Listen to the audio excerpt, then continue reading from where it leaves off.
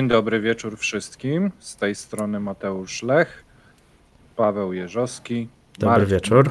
Liwa e, oraz Maciej Lisowski. Więc Dzień dobry, bo jeszcze jest wystarczająco jasno, żeby mówić dzień dobry. Marcin, a czemu ty jesteś tak podpisany? Czy nadajesz z Luksemburga? Kto, ja? Tak. Nie, no, tak mi dali, okej. tak jestem. A, no w porządku. Słuchajcie, y, i po tym bardzo krótkim wstępie, gdyż mówicie, że za długo mówimy na początku, e, jakieś agendy, co dzisiaj chcielibyśmy omówić. E, wizyta Szojgu w Korei, nowe Tak. przepisy o, o, mobiliza- o mobilizacji, e, jakieś działania wojenne w Ukrainie. Prosiłbym, żebyście nam podali, co się dzieje, bo ja szczerze mówiąc w ogóle przestałem. No ja czytałem Putina, że jakieś sukcesy Ukraińcy mają, a wy nic No, o tym to- nie mówicie. To opowiecie, bo ja, bo ja przestałem słuchać, bo mówię, co czwartek wy opowiadacie, to już się przestałem interesować. E, I ten. E, Niezła sekuracja. Tak, e, cała Afryka przyjechała do Rosji, a może nie, Nie, nie, nie, cała. cała minus 10 około. Ca, cała minus więcej, ale to sobie opowiemy. To na końcu. E, jakieś ekonomiczne tematy odnośnie gazu, e, magazynów gazu, e, informacje nowe o inflacji, bo cały czas się coś tam dzieje, oraz e, zapowiedzi, to jest bardzo ciekawe, wyjścia e, Rosji z Międzynarodowego Funduszu Walutowego oraz Międzynarodowego e, Banku Odbudowy tak tak dalej. To sobie, mam nadzieję, o tym porozmawiamy, żeby było sprawnie i szybko. Oddaję głos może od razu Maćkowi. Co tam się dzieje na froncie?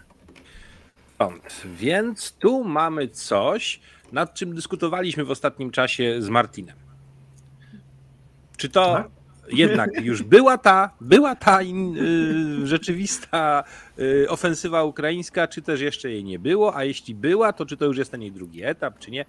No i tutaj można przyłożyć, jak to się mówi, różne punkty przyłożenia, różne miary do tego wszystkiego. Powiedzmy, że ja skłaniam się ku temu, że wchodzimy w inną fazę, skoro zostały już zidentyfikowane korpusy, ponumerowane ukraińskie korpusy, które ewidentnie były w drugim rzucie, czyli że w tym momencie to była już jednak ofensywa, zostają użyte w chwili obecnej na niektórych kierunkach jednostki drugorzutowe przeznaczone do rozwijania powodzenia, chociaż tego powodzenia zbytnio nie widać, przynajmniej na Zaporożu właściwym. Bardziej w tym momencie pewne szanse są w rejonie Bachmutu, ale nie chodzi o zdobywanie samego Bachmutu, który nie ma wartości wielkiej, oprócz PR-owej, wykreowanej przez wielkie wysiłki rosyjskie i wagnerowskie.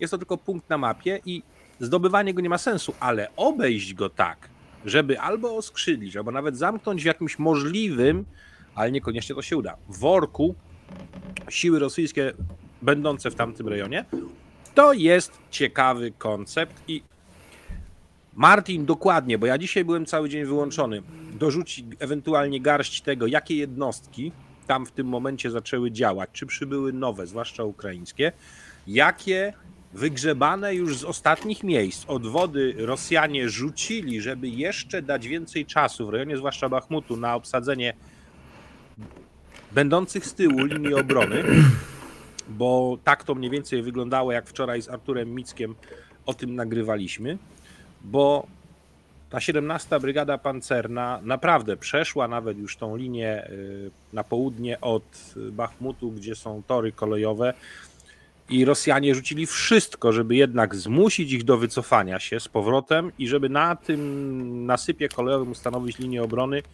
tymczasową przynajmniej, żeby dać więcej czasu, godzin praktycznie rzecz biorąc, innym jednostkom rosyjskim na obsadzenie stanowisk z tyłu. Maćku, Poza tym- przepraszam, po- przepraszam, że ci Mhm. wejdę w słowo, ale wydawało mi się, że Paweł tam podnosił palec, że coś chciał dopowiedzieć. Ja już zapomniałem, wiesz. Okej. Maćku, Nie, poważnie, y, jakby można prosić, co się zmieniło od wczoraj, bo rozumiem, że wczoraj, przepraszam, wczoraj nagrywaliście, a pewnie tutaj sporo osób oglądało ten wczorajszy, dzisiejszy, bo to chyba dwie godziny temu poszło. A więc No, jakbyście 14 mogli też tak. powiedzieć y, w stosunku do wczorajszego dnia, co dzisiaj, bo ja słuchałem dzisiaj Putina I on mówił o bohaterskim odparciu tej kontrofensywy i o tym, że Ukraińcy się posuwają, a więc trochę zgłupiałem. Mógł mówić o całokształcie tej, tej ofensywy ukraińskiej, bo tego nie wiemy. Natomiast najwięcej mógł mówić o było w rejonie właśnie Bachmutu oraz próbach nacisku cały czas, jakie są na kierunku zaporowskim. Tylko, że w tym samym czasie nie zająknął się słowem o tym, że intensywnie próbują na północnym odcinku frontu Rosjanie atakować pomiędzy, znaczy od wysokości Swatowego mniej więcej w kierunku aż do Dibrowej, ale nie udało im się to, chociaż naprawdę bardzo mocno naciskali, wprowadzili tam dużo sił i kosztowało to Ukraińców bardzo dużo wysiłku, żeby zatrzymać te uderzenia. To za chwilę dopowie szczegóły na pewno Martin. E, jest jedna ciekawa rzecz. Rosjanie, nie chcąc tracić dużo sprzętu, tym razem zaczęli korzystać z taktyki ukraińskiej tam, gdzie są lasy. W masywach lasów na zachód od Kreminnej oraz właśnie tam od Dibrowej w kierunku Kupiańska, Kupiańska rzucili swoje siły y, wojsk powietrzno-desantowych głównie do lasów i tam są bardzo ciężkie walki z ich odpowiednikiem ukraińskim najczęściej, czyli albo wojskami y, powietrzno-desantowymi, brygadami desantowo-szturmowymi wspartymi y, Gwardią Narodową lub jednostkami obrony terytorialnej, a oszczędzają swoje ciężkie sprzęty. I tu bym teraz oddał już głos Martinowi, bo ja od czwartej rano byłem wyjęty i nie mogłem się zajmować pełną obserwacją sytuacji na froncie, więc jeżeli coś powiedziałem źle, to Martin zaraz skoryguje. To tylko taka uwaga, że tylko te informacje od czwartej rano do teraz prosimy. Ale nie, no nie, no ja nie mogę być jako biczem jakimś tam i, czy tam do... 4.30 dokładnie. Nie? Dlaczego miałbyś być biczą? Biczą nie, ale biczem tym bardziej. Nie, nie. Słuchajcie, no, czy ja wiem, czy aż, aż tyle się zmieniło od godziny czwartej, czy ewentualnie. Ja mam cały czas wątpliwości do pewnych informacji i, i tutaj też podpytywałem Artura i, i, w sumie prostowałem pewne rzeczy też i z Mateuszem Lachowskim, więc e, odnośnie Kliszczejówki, Andradiwki, więc tutaj dalej są pewne niedociągnięcia, że tak powiem, bo nie ma tego potwierdzenia definitywnego, czy Kliszczejówka została zdobyta, czy Andrzejówka została zdobyta. Nie ma tego nawet w raportach e, Sztabu Generalnego Ukrainy, więc tutaj wiemy, że na 100% to, co wiemy, to wiemy, że przynajmniej połowa Kliszczejówki była w rękach ukraińskich i, i te działania tam były prowadzone. Prowadzone były w sposób dość dynamiczny, e, natomiast e, pytanie, czy posunęli się dalej, był tam sukces taktyczny na tym kierunku. E, czy, czy zostało to wykorzystane? Myślę, że nie. Bardziej chodzi o to, że jednak Ukraina, z tym co dzisiaj rozmawiałem z Markiem, to, to jednak kontynuuje działania eliminujące punkty oporu, e, które ma na swojej drodze i ten sukces tam. Słuchajcie, no tak jak Maciek powiedział, to nie chodzi o to, żeby zdobyć Bachmut, bo Bachmut sam w sobie to jest bardziej tak, jak Maciek powiedział, PR-owe, które sami Rosjanie sobie napompowali, y, walcząc o, nie, o to miasto przez 10 miesięcy. Natomiast strona ukraińska kontynuuje działania okrążające, bardziej chce y, doprowadzić do, do, do albo okrążenia, albo do zmuszenia do odwrotu wojska rosyjskie z tego rejonu, a to byłoby no, PR-owo bardzo mocne uderzenie w armię rosyjską i tutaj no, w samą morale też Rosjan, bo po tylu miesiącach odwrót tego miasta to byłaby wizerunkowa klęska armii rosyjskiej. E, w tym rejonie natomiast walki, tak jak mówię, trwają i dzisiaj nie pojawiało się zbyt wiele informacji z tego rejonu, przynajmniej ja nie zauważyłem.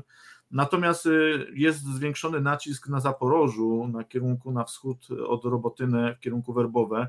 Tam wczoraj rano już e, informował też Rybar i Worgonzo i inni o dość dużych atakach ukraińskich z wsparciem około nawet do 80 do 100 pojazdów pancernych. Więc tutaj e, dzisiaj się pojawił filmik e, z rowu przeciwpancernego, który jest już elementem, jakby wszystko na to wskazuje, pierwszej linii, głównej linii obrony e, rosyjskiej na tym odcinku pomiędzy Robotynę a Werbowe. To jest bodajże 3 km na wschód pomiędzy Werbowe a Robotynę. Jest tam mm, BWP chyba bodajże jedynka, który ugrzązł w rowie pancernym, przeciwpancernym Y, I wszystko wskazuje na to, że te, te, informacje, które się tam pojawiły o tym, że udało się stronie ukraińskiej dotrzeć. Pytanie, czy też udało się utrzymać te, te pozycje, bo to też jest y, ciekawe. Natomiast pojawiły się informacje o wejściu, o wsparciu, czy wejściu do akcji 78 Pułku Szturmowego, to jest z wojsk powietrznych Ukrainy, który tutaj wsparł, czy wspiera działania 47 E, wiemy, że do, do walki, czy jest przygotowywana, czy nawet już e, możliwe, że weszła do walki też brygada Gwardii Narodowej Azow. To jest ta stara nasza, że tak powiem, brygada Azow, która ona kiedyś miała numerację numer jeden, teraz ma czternastkę bodajże, jak się nie mylę. I, I to jest brygada już pod sztandarem, w sumie też Gwardii Narodowej, bo mamy przez trzecią brygadę szturmową Azow, która tutaj też występuje no tych jednostek azowskich jest trochę, jest i one rozrośli były scalane. Się. Tak, rozrośli się. Żeby nie mylić, mamy Brygadę Gwardii Narodowej Azow i mamy trzecią Brygadę Szturmową Azow. To są dwie jednostki brygadowe, które działają na dwóch innych, różnych kierunkach, więc tutaj, żeby to było jasne. Mamy dzisiaj informację o zajęciu też na drugim kierunku zaporowskim, w sumie już może nie zaporowskim, tylko donieckim, na kierunku Wełyki Nowosyłki mamy potwierdzenie wkroczenia ponownie do Staromajorskie, do części północnej i prawdopodobnie centrum sił ukraińskiej 35. Brygady Piechoty Morskiej, która tutaj wykorzystała wcześniejszy sukces zajęcia wzgórz na zachód od miasta, od miejscowości, bo to nie miasto. I, dzisiaj, dzisiaj prawdopodobnie na 99%, bo pojawił się jeden filmik y, ze zniszczonych y, pojazdów rosyjskich na południe od tej miejscowości że ta miejscowość prawdopodobnie, przynajmniej część północna i centralna jest już w rękach ukraińskich, a to już grozi tutaj wejściem na tyły jednostek rosyjskich, które walczą nadal w Użorojnym, to jest y, bardziej miejscowość na wschód, po drugiej stronie rzeczki. Y, ona jest troszeczkę przeskrzydlona. Jeżeli chodzi o ten kierunek, y, jeżeli jeszcze chodzi o ten kierunek, to mamy jeszcze Piaty Chatki, tam nie ma informacji o jakichkolwiek sukcesach z tego odcinka, jeżeli chodzi o północ, e, tam gdzie się najbardziej baliśmy, bo oczywiście mamy lasy kremiennej, czyli na południe od Ibrowej lasy, gdzie toczą się walki dość zacięte, można powiedzieć grup szturmowych, bo tak bym to określił, pomiędzy walkami grup szturmowych. E, Rosjanie po tych atakach na otwartym polu zrezygnowali z tych ataków, tam jednak artyleria ukraińska dawała im się mocno znaki i tak jak Artur mówił, no, te walki trwają w lesie, ale one trwają już od wielu, wielu miesięcy. Te próby albo atakowania e, e, wzdłuż drogi Kremienna e, Łymań nie, nie szans, tak samo teraz te walki w lesie, one są, no to jest całkiem inna walka, to jest walka w masywie leśnym, tam ciężki sprzęt, Rosjanie kiedyś tam próbowali nacierać z ciężkim sprzętem, natomiast kończyło się to dla nich źle. Mamy tam pewien impas, y, natomiast jeżeli chodzi o ten odcinek północny naprzeciwko Swatowego, Maćku, to co mówiłeś, no to dzisiaj sytuacja jest zdecydowanie troszeczkę spokojniejsza i widać to też po tym, co pisze się na Telegramie i widać to też y, w tym spokoju pewnym, y, jeżeli chodzi o ten rejon właśnie miejscowości Karmazywka oraz Rajdorok. Tak, tak Karmazywka i Rajdorok. Tam Rosjanie w ostatnich dniach uzyskali powodzenie, natomiast Dzisiaj wiemy, o czym pisał już nawet wczoraj Rybar, że oni cały czas są w dolinach. Y, oni zdobyli część, która należała w dolinie, y, więc tutaj ten ogień z góry Ukraińców y, jest problemem dla strony rosyjskiej. I jeszcze jedno, o czym wspominał Rybar w swoim komentarzu, bo, bo wiemy, że oni tam przesyłają sobie między sobą te pewne wiadomości, żeby to był jednolity przekaz Rybar wspominał o tym, że oni mają na plecach bardzo silny ogień artyleryjski ukraińskiej artylerii, która tutaj im y, powoduje pewne problemy logistyczne i nie tylko, bo chodzi o to, że Rosjanie nie są w stanie y, bez problemu wprowadzić dodatkowych siły na pierwsze linie. One są oszczeliwane, te posiłki. I tutaj Rybar mówi, że jednak mają problemy z tą artylerią ukraińską. I to, co Artur też wczoraj tobie tłumaczył, że, że ta główna linia przebiega na, na wzniesieniu, na tym paśmie, pomiędzy tymi miejscowościami. Do tej pory strona ukraińska to trzyma. Jest pewna dzisiaj organizacja i wygląda to zdecydowanie lepiej. Nie wiem, co mówisz. A, dobra, już wiem. W każdym razie. Nie, nie, zobacz na Pawła. No Mateusz Lech i Mateusz Lech. Jajcarze. Przepraszam. W każdym razie mm, o tym nie wspominał też Putin, prawda? Putin nie mówił nic o tym, że jakieś sukcesy zanotowali, e, czy notują. Owszem, zanotowali sukcesy, ale to były, to były sukcesy, które teoretycznie strona ukraińska im dawała. Takie ja mam odczucie. Co mnie bardziej martwi z tego rejonu i potwierdził to też w mojej rozmowie ze mną Marek Meissner, ja tam widzę problem w dowodzeniu i z nowymi jednostkami. Tutaj Ale to już problem. też mówiliśmy. Jest tak. problem w dowodzeniu i koordynacji. Dokładnie. I brakuje im tego szczebla powyżej brygady. Dokładnie. Oni mają problem z koordynacją, natomiast tutaj brakuje, mam wrażenie, że na tym odcinku szwankuje dowodzenie, w, stricte dowodzenie w, w formacie przekazywania informacji, koordynacji oraz ociężałości. Mam wrażenie, że to wszystko, co się wydarzyło w ciągu ostatnich kilku dni, to pokazywało, że jednak te decyzyjności nie były na tyle szybkie, żeby reagować w miarę szybko. Ja bym powiedział tak, gdybyśmy to robili my, planując według naszej obecnie stosowanej metodologii te działania, to byśmy sobie zaznaczyli, że na przykład obiekt ataku 1, 2, 3, 4, 5 i z boku jest legenda. Osiągamy ten i ten obiekt, to nam daje, wiemy, takie i takie możliwości, i wtedy od razu uruchamiany jest na przykład czy dodatkowa artyleria, czy idzie właśnie wsparcie, dodatkowe siły, żeby rozwinąć coś. I jeżeli się takie decision making pointy, punkty podejmowania decyzji zaplanuje i zrobi, to wtedy ta koordynacja zafunkcjonuje, bo każdy czeka tylko na sygnał, a wie dokładnie, co ma robić. Tak. Przypuszczam, bo tego nie wiemy, ale przypuszczam, że właśnie coś tu w tym zakresie nie zagrało albo nie gra cały czas jeszcze u Ukraińców. Ja mam wrażenie, że mm, tam się coś pozmieniało, Maćku, bo przecież przypomnijmy sobie, że w przeciągu całej zimy i wiosny Rosjanie wielokrotnie atakowali. Może też nie na tym kierunku, bo ten kierunek był wyciszony. I, i tutaj z Markiem żeśmy mówili, że jak się popatrzy wstecz, to faktycznie tutaj działalność y, rosyjska była ograniczona, nie wiem, może na uśpienie też strony ukraińskiej, ciężko dociekać, natomiast oni przecież działali dość aktywnie, to dowództwo tego odcinka, odpierając te uderzenia, czy pod e, Nowosiłką, e, innych miejscowościami. Natomiast teraz e, tak jakby się tam coś podziało, czy zmieniło się na negatywnym, w negatywnym sensie. Nie wiem, nie wiem czy był, doszło do jakiegoś podziału, może Wiesz, jesteśmy na etapie teraz, gdzie strona ukraińska zaczyna formować, już sformowała kilka korpusów, tak? Też nie wiemy, czy nie jesteśmy na etapie, że na przykład przechodzą progres e, e, przez proces reorganizacji tych sił, na przykład e, pod dowództwo korpusu, prawda, które może powstać na tym odcinku frontu. Więc to są tylko nasze domniemania, tak, z tego odcinka. Ale pamiętajmy, te korpusy to jest tak naprawdę odpowiednik naszej dywizji. No tak, Maćku. Czy, Im brakuje czy... tego szczebla dywizyjnego. Tak, im tego szczebla brakuje. Y, ja już tłumaczę, czym jest szczebel poszczególny. Tak? Brygada ma cztery Ukraińców do sześciu batalionów bojowych, plus pododdziały wsparcia, czyli artylerii, przeciwlotniczy, saperów, rozpoznawczy, jakie tam jeszcze mogą być potrzebne. Dywizja to jest minimum dwie, normalnie trzy brygady, czyli już odpowiednio więcej, a w przypadku Ukraińców, kiedy oni nie stosują szczebla dywizyjnego, to co najmniej trzy brygady tworzą korpus i powinny być jeszcze jakieś dodatkowe elementy. Jednostki typu, korpusu. Jednostki korpuśne u nas byłyby dywizyjne, czyli dodatkowa hmm. artyleria, przeciwlotnicy, przeciwpancerniacy, rozpoznanie, Saperzy. warka radioelektroniczna i tak dalej. Mhm. Czy ja mogę teraz wymaga... zadać pytanie jedno? Mhm.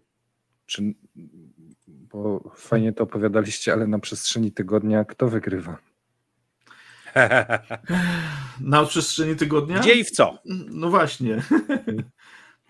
Ja Czyli powiem... mamy sytuację taką jak y, Złapał dwa tygodnie temu, Katarzyna, trzy tygodnie temu, cztery tygodnie temu. Nie. Czyli mamy dalej takiego, taki pad, że to się ten...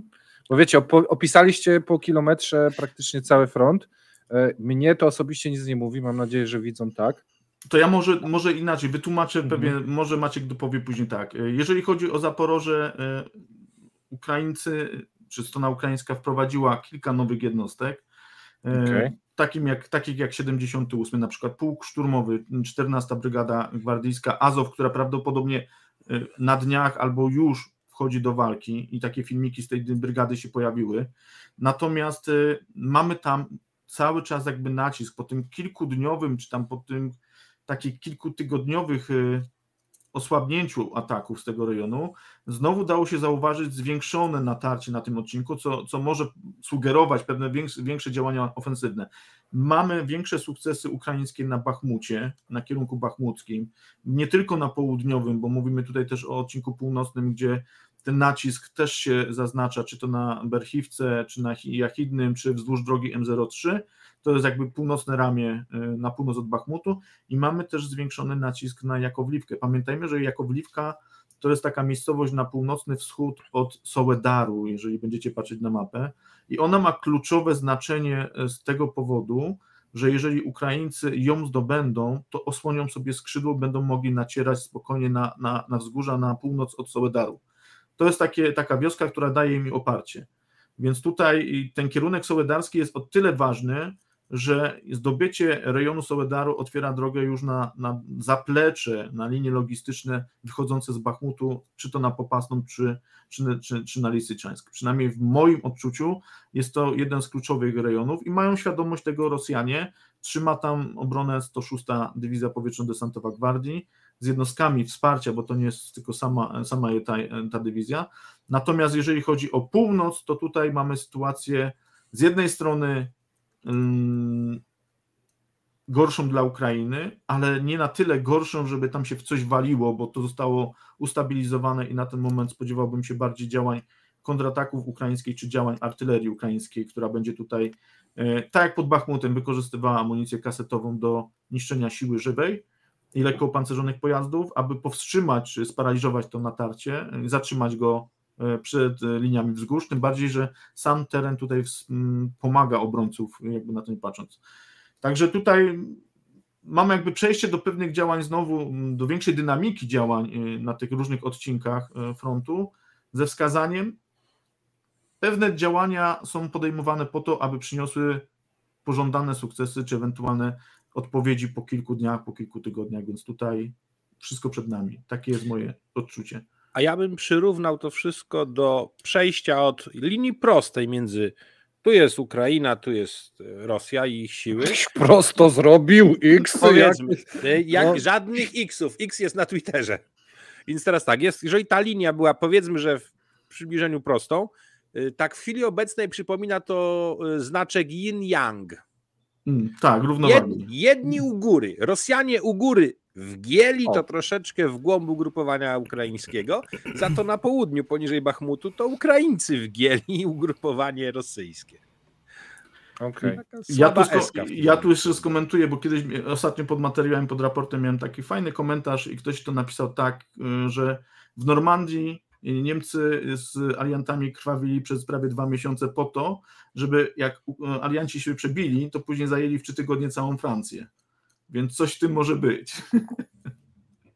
Zobaczymy, na ile to, to się no, okaże okay. w tym wypadku. No, Ukraina to nie jest mały kraj, te, no. te jej fragmenty też całkiem spore.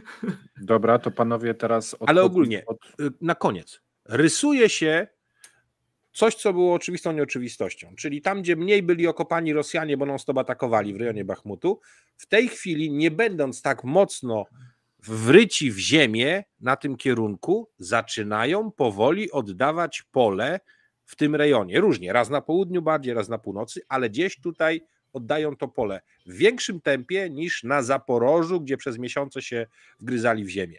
Tymczasem na północy no bardzo duże siły rosyjskie użyte do, do tych e, działań ofensywnych, czyli połowa pierwszej armii pancernej gwardii będąca już w użyciu, i tam jeszcze chyba jakiś drugi korpus się przyplątał. Nie. E, drugi korpus, jakiś tam jeszcze ichniejszy tam się przyglądał, przyplątał, coś takiego.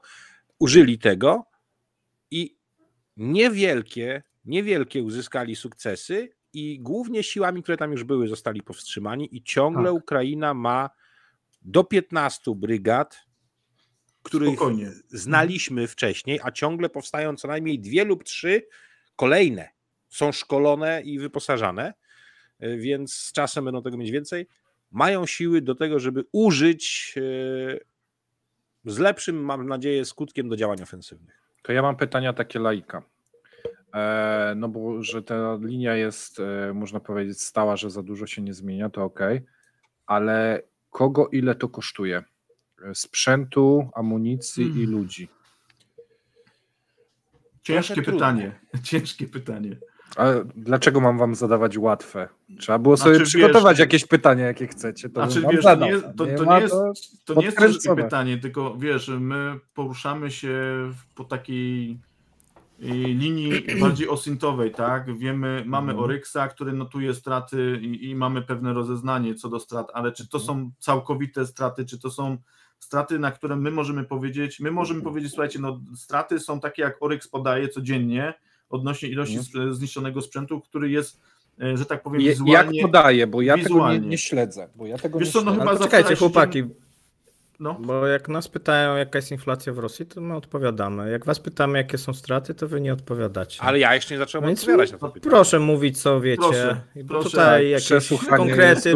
ludzie chcą słuchać, tak, Tak. co się W dzieje. ciągu pierwszych Kto wygrywa, a wy ciągle tam, że O wygrywaniu a, już było. tutaj na tej linii to tak, a na Nie ma tej miękkiej linii gry. to Tu inaczej. nie ma miękkiej gry. Dawać! To jest ciągle. tak- Paweł, Nie to jest tak ekonomii. miękkie. Słuchaj, ja, ja złożę ci, No, złożę tak, ci tak. Że, że chcę kupić za tyle Jasne. i tyle, a ty się będziesz ze mną handlował. No ja ci tak. mogę powiedzieć prywatnie, tak? Na To- wizycie nie to powiem tak, co to kupować. Wychodzą nam z szacunków, z danych, jakie uzyskujemy od y, ekip medycznych po stronie ukraińskiej i e, tym podobnych danych i zwiększonej ilości transportów zwłok po rosyjskiej stronie, a nawet danych, które leżą worki ze zwłokami po rosyjskiej stronie i drony potrafiły lecieć, y, policzyć to wszystko 56, tak. tak i tak dalej. Średnio wychodzi tygodniowo strat po rosyjskiej stronie 4,5 do 5,5 tysiąca zabitych i nie lekko, ale co najmniej średnio i ciężko rannych. 4,5 tysiąca przyjmijmy tygodniowo. Mamy ósmy tydzień tych działań. To 20 miesięcznie gdzieś tak, plus minus. No, plus A minus. Ukraińcy? Ukraińcy powiedzmy, że jedną trzecią z tego. No okej, czyli straty 3 do 1. Mniej więcej. A z, te, z tego co czytam, cały czas mają dużo rannych, a mało zabitych. Czy Tak, dużo rannych, a mało zabitych. I z tymi rannymi różnie bywa, y, jeżeli chodzi o poziom ich porażenia. Natomiast ostatnio coraz No więcej tak, to Rosjanie mają tych strat przez częstsze stosowanie amunicji y, kasetowej, jak najbardziej. Kasetowej. Tutaj Mhm. nawet y, artyleryjskiej do No. 155, nie tylko rakietowej. Tak, widz- widziałem. E, Zwiększyła się ilość zestrzeliwanych ostatnio znowu helik- śmigłowców bojowych typu Tak. K-52. Oblicza się, że około Ukraińskie 40, lotnictwo. około 40 zostało 40 maszyn stracili Tak. już na pewno, czyli połowę z tych, które wojny. były zdolne do lotu. Od po... Ty, ale jak od- 40 Od początku stracili, roku, od początku roku. to Ropy, nie wojny. Nie. Tylko Znaczy, mniej niż wojny, połowę no. już. To mniej niż połowę im zostało. Teoretycznie mieli 140 maszyn w różnym stadium e, gotowości No, bojowej i właśnie. rozgrzebania, i remontów, i wszystkiego. Realnie około 80 mieli w takiej Zdatnych do lotu, tak. zdatności do lotu. Mhm. Stracili w tym momencie z tego zakresu y, połowę lub ponad połowę. Nie pamiętam, jakie są dane a propos Mi-28, ale bardzo są oszczędzane te Mi-28 w tej chwili. Natomiast Ukraińcy po raz pierwszy też- od dawna używali lotnictwa do wsparcia teraz. Tak. Tak, zauważyłem. Y, Przejmę pytania, bo tu takie jakieś może konkrety, bo. Yy, A powiedzcie mi, czy Rosjanie mogą pozyskać skądś helikoptery? Śmigłowce, ale bojowe, masz na myśli? Czyli szturmowe, czy Boje- takie Tak, bojowe, mhm, szturmowe, no też. No jedyna, głównie tak. jedyna szansa jak dla mnie to byłoby od Chin, ale Chiny im nie dadzą. Nie ma szans. No, Mogą to jeszcze którem od- mieli dać A, też? Rosyjskie firmy trochę latały w Afryce swoimi Mi- Mi-35, Tak. Mi-24. Mogą to spróbować ściągnąć, Okej. ale to nie najnowocześniejsze, ale jednak zawsze coś do wsparcia. Mhm. Ale y, na tą chwilę głównie te śmigłowce w ich wykonaniu ostatnio zaczęły używać tych przeciwpancernych pocisków kierowanych dużego zasięgu, 10 tysięcy metrów, tak? Ale wcześniej to one Mhm. służyły tylko do odpalania niekierowanych pocisków rakietowych po prostu na azymut i mniej więcej po kącie podniesienia, zadarcia nosa przy nalocie y, w tej pętli y, na odległość mniej więcej. To było dziurawienie Panu Bogu okn, y, nieba i tym podobnych częściej niż trafienie w cokolwiek. Natomiast gdyby się zdecydowali na jakieś działania typowo, jak to się mówi, taktyczny desant śmigłowcowy i do tego by użyli, tak jak w Hostomelu, śmigłowców transportowych średnich, czyli zakres tak zwany Mi-8 do 17 Mhm. Mhm. i one mają też często y, boczne skrzydła z z węzłami do właśnie rakiet niekierowanych, zasobników z bronią i tego by użyli. Mógłby z tego być jakiś efekt, tylko trzeba wiedzieć, gdzie mogliby tego użyć. Ale na razie inicjatywa leży po stronie ro- ukraińskiej póki co, więc takich rzeczy Rosjanie nie robią. Co najwyżej używają tego jako zwykłego lotnictwa transportowego. Nas- ale- poczekaj, bo jeżeli dobrze też rozumiem, to jeżeli tak będzie to szło, no to oni tych śmigłowców do końca roku jest szansa, że się pozbędą. Albo inaczej, że no nie będą już miały znaczenia. Śmigłowce bojowe, tak się może zdarzyć, Bojowe. że przestaną Mhm. mieć znaczenie. Bo z tego co Ym. czytałem, one miały dosyć duże właśnie znaczenie na tym Zaporożu i przy tych Tak. kontrofensywach rosyjskich. I Ym, tam sporo tak- wytracili przez to. Powiedzmy, że gros strat na początku ofensywy ukraińskiej właśnie było z tego, że Zadały. zaczęli Rosjanie stosować zgodnie z doktryną, jaką mieli dawno, dawno temu, prawie zapomnianą, te śmigłowce bojowe. Dokładnie. Że się uwstecznili, dzięki temu zastosowali je we właściwy sposób. Mhm. Dokładnie tak. A mam Chociaż tutaj, następne... tutaj wrócę jeszcze, bo, Okej. bo tutaj mamy przykład właśnie tego, co Maciek powiedziałeś odnośnie Mi-17 y, w wykonaniu ukraińskim, które mają podwieszane węzły i, i są wykorzystywane do, do tego Do atakowania. Tak, do wsparcia. I o tym wspominałeś. Natomiast nie widziałem i nie pojawił się żaden filmik. Zresztą nie mają potrzeby, bo mają do tego inne śmigłowce. Właśnie Rosjanie, tak, którzy tutaj wykorzystują K-52 i Mi chyba 28 w podobnym celu, bojąc się podlatywać bliżej. No wiadomo, tutaj te straty. Jak się tylko pod, inaczej może powiem, e, jak podle, podle, podlatują bliżej, to, to właśnie trafiane e, śmigłowce są przez e, obronę przeciwlotniczą ukraińską. E, Słuchajcie, to w takim razie, jeżeli omówiliśmy sobie uzbrojenie, ja bym chciał zapytać o amunicję, bo widziałem informację, że Szojgu leci do e, kraju Wielkiego Kima po, po co? Po amunicję? Do Best Korei. Tak. Ale, Tak, naj, najlepszy, jednej z ja najlepszych to armii na uzupełnić. świecie. Słuchajcie, Tak. Chciałbym to uzupełnić. Jak to jest możliwe, że obecnie Ukraińcy mają tyle samo amunicji, a być może więcej niż Rosjanie? Przynajmniej tak to. Rosjanie. Ja już, Jezu, nie pamiętam, ale chyba od stycznia y, zmroziło chyba Pawła. Mhm. E, I, Zdążył zadać pytanie. i, i jeszcze im się nie skończyła ta amunicja. Y, Ja już mówiłem dawno chyba Nie, na, nie, nie. na. Kremlince i w sumie tutaj żeśmy rozmawiali kiedyś na temat właśnie tego, tej amunicji w sumie i tutaj już padło takie stwierdzenie, że chomikują i okazało Chomikowali się, że... Oj, chomikowali, słuchajcie, od, od, od początku roku na bank chomikowali tą amunicję, natomiast teraz do tej amunicji dochodzi jeszcze amunicja kasetowa, która nie tylko ze Stanów Zjednoczonych dociera i tutaj trzeba to powiedzieć, Turcja E, też. też, tak, y, mamy tutaj i słuchajcie, no też jest, y, mm, no też trzeba powiedzieć o tym głośno, że mamy wzrost produkcji amunicji też w wielu, wielu krajach i, i ta amunicja też idzie na Ukrainę, więc, więc dzisiaj się przydaje.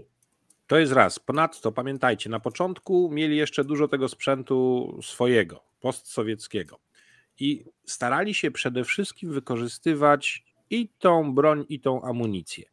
Z czasem punktowo, tam gdzie się pojawiła lepsza y, artyleria zachodnia 155 mm, włączyła się ona w zwalczanie tej rosyjskiej artylerii. Ale y, to były bardziej takie y, chirurgiczne jej użycia. I dopiero teraz masowo, bo mówimy o tym, że znamy limity na jedną lufę na dzień na Zaporożu lub w rejonie Bachmutu, nawet 500 pocisków Tak. Okej. na dzień. Jeżeli jest taka potrzeba i precyzja ostrzału tę, y, tą amunicją i e, hałicami zachodnimi jest o tyle większa, że i tak wystrzeliwują jej mniej niż analogicznie Rosjanie w takich samych sytuacjach. Ja bym się tutaj bardziej bał, że, że będzie problem z lufami po stronie ukraińskiej niż, niż zabraknie amunicji. Ale słuchajcie, ale to nie jest tak, że lufy można produkować w wielu fabrykach na świecie, a Rosjanie nie za bardzo mogą to robić w wielu miejscach na świecie? Więc No- lufy zużywają i tu, i tu, nie? Więc Tak. Tak, chyba teraz Ukraina ma przewagę tych ilości fabryk, które mogą to robić, czy nie? powiedzmy, że Ma. świat zachodu. No świat zachodu, dokładnie. E, no ale i tak, tutaj wąskim gardłem są odkówki właściwe, hmm. sezonowane, które potem się odprężają hmm. przez odpowiednią ilość miesięcy i tak dalej. Mhm. Nie jest to lekki temat. Y, wszystkiego na ten temat nie wiem, ale naprawdę no, proces produkcji w tym zakresie, nawet gdyby go skracać przez odpowiednie mm, warunki typu wymrażanie i tak dalej, i tak nie uzyska się jakiegoś tam spektakularnego wyniku w zakresie skrócenia procesu produkcji. Ale i tak, nasze, te lufy w naszych krabach, no, udokumentowane są, że już przekroczyły po 10 tysięcy. Są sprawdzane, co i jak z nimi. Częstsze czyszczenie luf, częstsze czyszczenie zamka, żeby uniknąć problemów i dają radę nadal trzymać się w reżimach celności. A słuchajcie, a co, co za afera z tymi krabami? Znowu coś czytałem na Twitterze. To znaczy tak. Komuś się nie podoba znowu krab nasz? Zjawisko afery wybuchło od tego, że e, na Geekweeku, e, jako tak, taki specjalistyczny Quick, quick, quick, quick, quick, Geek Week. Okay. Geek Week, e, taka niby specjalistyczna agenda Myślałem, tematyczna Interi kwiczeć jak ten świnka. Quick, quick, quick. Nie, Mateu, tego, Mateusz, że oni wpuścili informację, spokojnie, wpuścili informację, która tak po przetłumaczeniu i przeredagowaniu brzmiała, jakby mieli Ukraińcy konkretny portal Focha do y, polskiego sprzętu. E, I to na dzień dobry spowodowało, że nawet ja sam dowaliłem się do geekweeków, że coś tu jest nie tak i piszą ludzie, którzy się tym, na tym nie znają. A jak potem zaczęto wchodzić w szczegóły zagadnienia, to się okazało, że sam artykuł ukraiński był na zasadzie e, advantages and disadvantages, czyli e, no, zalety, okay. Zalety Wady i takie. nawet nie do końca wady, ale co okay. mogłoby być lepsze na tej zasadzie. To jest duża różnica w przekazie niż wiesz, wyliczanka niedoróbek, nie? I kto to coś... puścił y, na zasadzie, że y, afera taka? Kto, kto to próbował coś ugrać? Znaczy wiesz, to się pojawiło, w... kilka osób się oburzyło na ten temat. Okay. Przy tej okazji jeszcze Tomek Leśnik zrobił y, świetną nitkę o problemach związanych z K9, które no, kupiliśmy w całkiem sporej ilości i mamy jeszcze produkować w siebie. I to wszystko spowodowało, że no ja też akurat zrobiłem u siebie live'a na ten temat i w ciągu 24 godzin, nawet mi gratulowano, chociaż nie, nie mogę sobie przypisać e, sprawstwa w tym zakresie, w ciągu 24 godzin pojawiły się konkretne komunikaty e, Agencji Uzbrojenia, że będzie potwierdzone przez certyfikację zgodność amunicji armat, tych K9 i tego wszystkiego.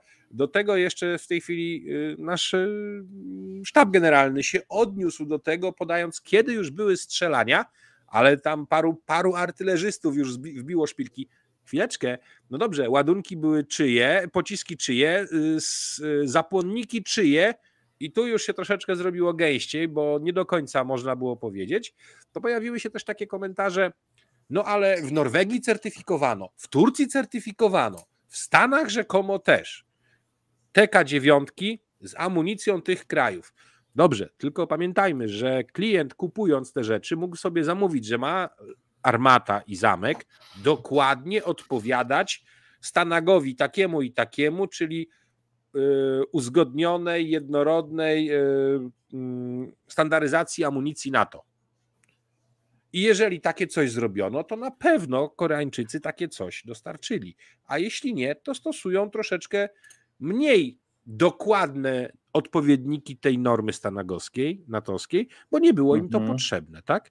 I tu jest w tej chwili pies w tych szczegółach pogrzebany i Damian Radka y, stanął w tym momencie po stronie tego, że raczej y, sprawa się wyjaśni, jak się ostatnie rzeczy sprawdzi. Zna się chłopak na tym, więc warto też tego posłuchać, ale generalnie coś było na rzeczy.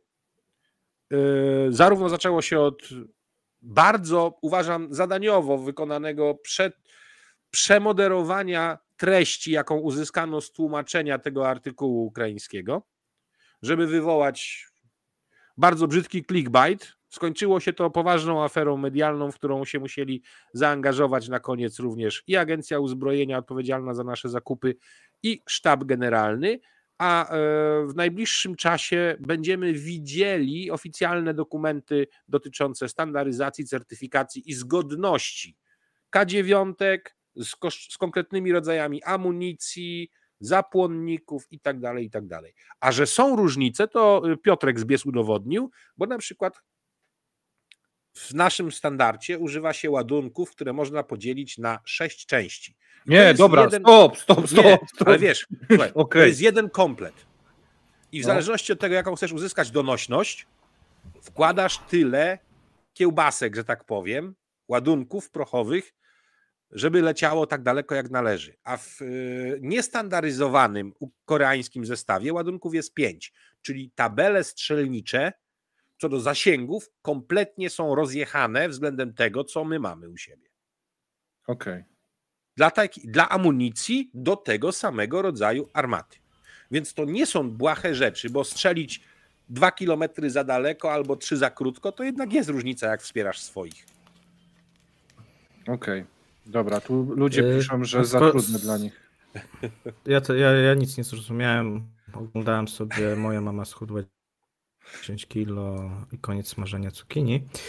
Yy, Niemniej ja mam pytanie, Rosjanie mają podobno rozrzut na tych lufach o 300-400 metrów, potwierdzasz to? Jak to E, jest? Słuchaj, zjawisko tak zwanego rozrzutu naturalnego i kołowy błąd trafienia mają te parametry normalnie niższe, ale przy wypaleniu komór nabojowych, jakie już mają, No ale i w wy, wyślizganiu luf, jest to możliwe. Tak, jest to Mhm. możliwe. Okej, to y, jako, że wyjaśniłeś to y, wszystkim, choć skomplikowanie, to przejdźmy do tej Korei. Co powiecie, co tam y, się udało załatwić? Przede wszystkim wszyscy mówią, Szojgu pojechał z wielkim lotniskowcem na głowie, spotkać się z jeszcze większymi lotniskowcami na głowie e, w sprawie amunicji, zarówno dla artylerii 122 mm, jak i 152 mm, ale również Możliwe. najprawdopodobniej rakietowej. A jeżeli jeszcze w jakiś tani sposób, podobnie jak Irańczycy, e, Best Korea zrobiła sobie jakieś drony, to też mogą chętnie o nich porozmawiać. Nie jest też wykluczone, że chodzi o części zamienne do typu czołgów typu szeregu T-62, które przecież tak naprawdę w różnych wersjach stanowią podstawę e, sił pancernych Korei Północnej. Okej, i dostaną te, te amunicje? W tym roku po raz pierwszy od lat uruchomiono znowu połączenia kolejowe y, między Koreą a Rosją, więc uważam, że coś jest na rzeczy. Tylko pytanie, czy chodzi o pieniądze, czy chodzi o żywność, czy o technologie, y, które może chcieć y, Kim.